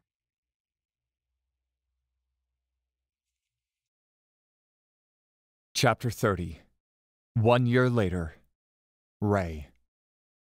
Erin Belmont. I called from up the small stage set up at the base of the blackthorn tree. Erin, who had changed her fake last name to her mother's one, stood from her seat and walked to the stage. Amid the applause of the other students, professors, and family members, she stepped onto the stage and halted in front of me. With a smile, I handed her the diploma. Congratulations, Demon Hunter Erin. I extended my hand to greet her. Erin rolled her eyes as she slipped her hand in mine, but to my surprise, she stepped into me and pressed her lips to mine. I chuckled, because we had talked about this. I was the fucking headmaster now, and she was a student. Though everyone knew we were together, we tried to keep the PDA to a minimum in the past year. A very hard task. What? She shrugged. I'm not a student anymore. She hopped off the stage and high fived Ava on her way back to her seat. Feeling lighter and happier than ever before, I continued with the graduation ceremony, calling the students, including Claire, Harper, Ava, and Harvey, and handed them all their diplomas. Once the official ceremony was done, the chairs were pulled aside and a big party started. Loud music filtered from the speakers spread around the courtyard. Food and drinks had been brought out from the cafeteria. Friends and family danced and talked and laughed. And I took my beautiful soulmate to the improvised dance floor. I held her against me, loving how her body easily molded around mine. It was like she had been made for me. I'm proud of you, I whispered in her ear. Erin pulled back and glanced at me with her bright golden eyes. What's that for? I lifted my shoulder. Everything. Many obstacles were thrown in your way, but you never steered off the right path. You stayed strong, beat up the biggest evil of all time, and now you're a true demon hunter.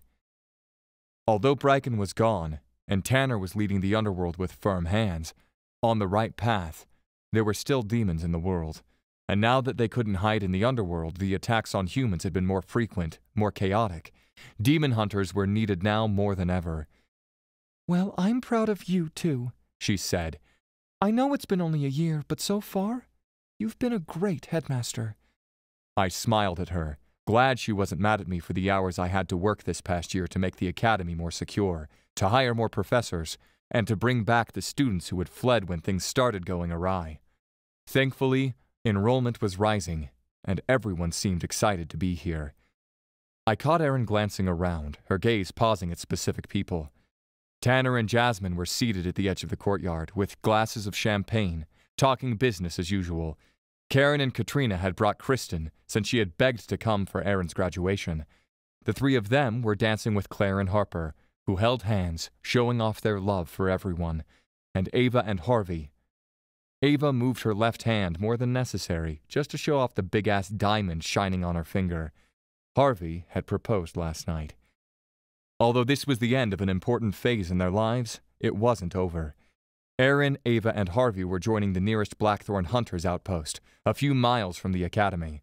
Claire was going to assume the mantle of demon history professor, and Harper who was studying magic more and more, would open a magical trinket shop in Saussure Life might change for all of us, but I was sure we would stay connected. Erin would make sure of it. We danced with our bodies pressed together, laughed with our friends, drank a little until the party wound down.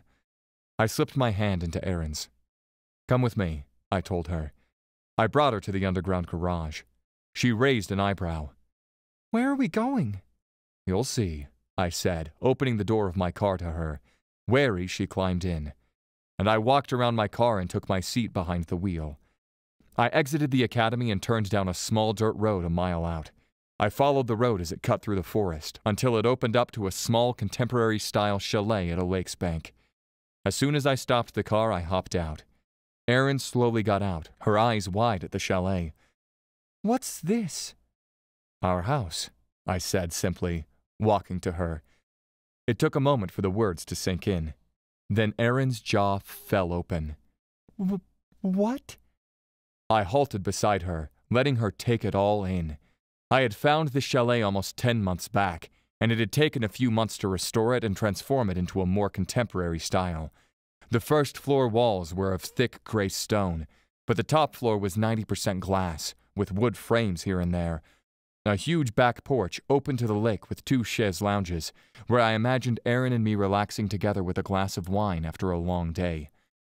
The chalet was halfway from the hunter's outpost and the academy, which meant we both could be here after work hours, and if there was an emergency, we could go back in a few minutes.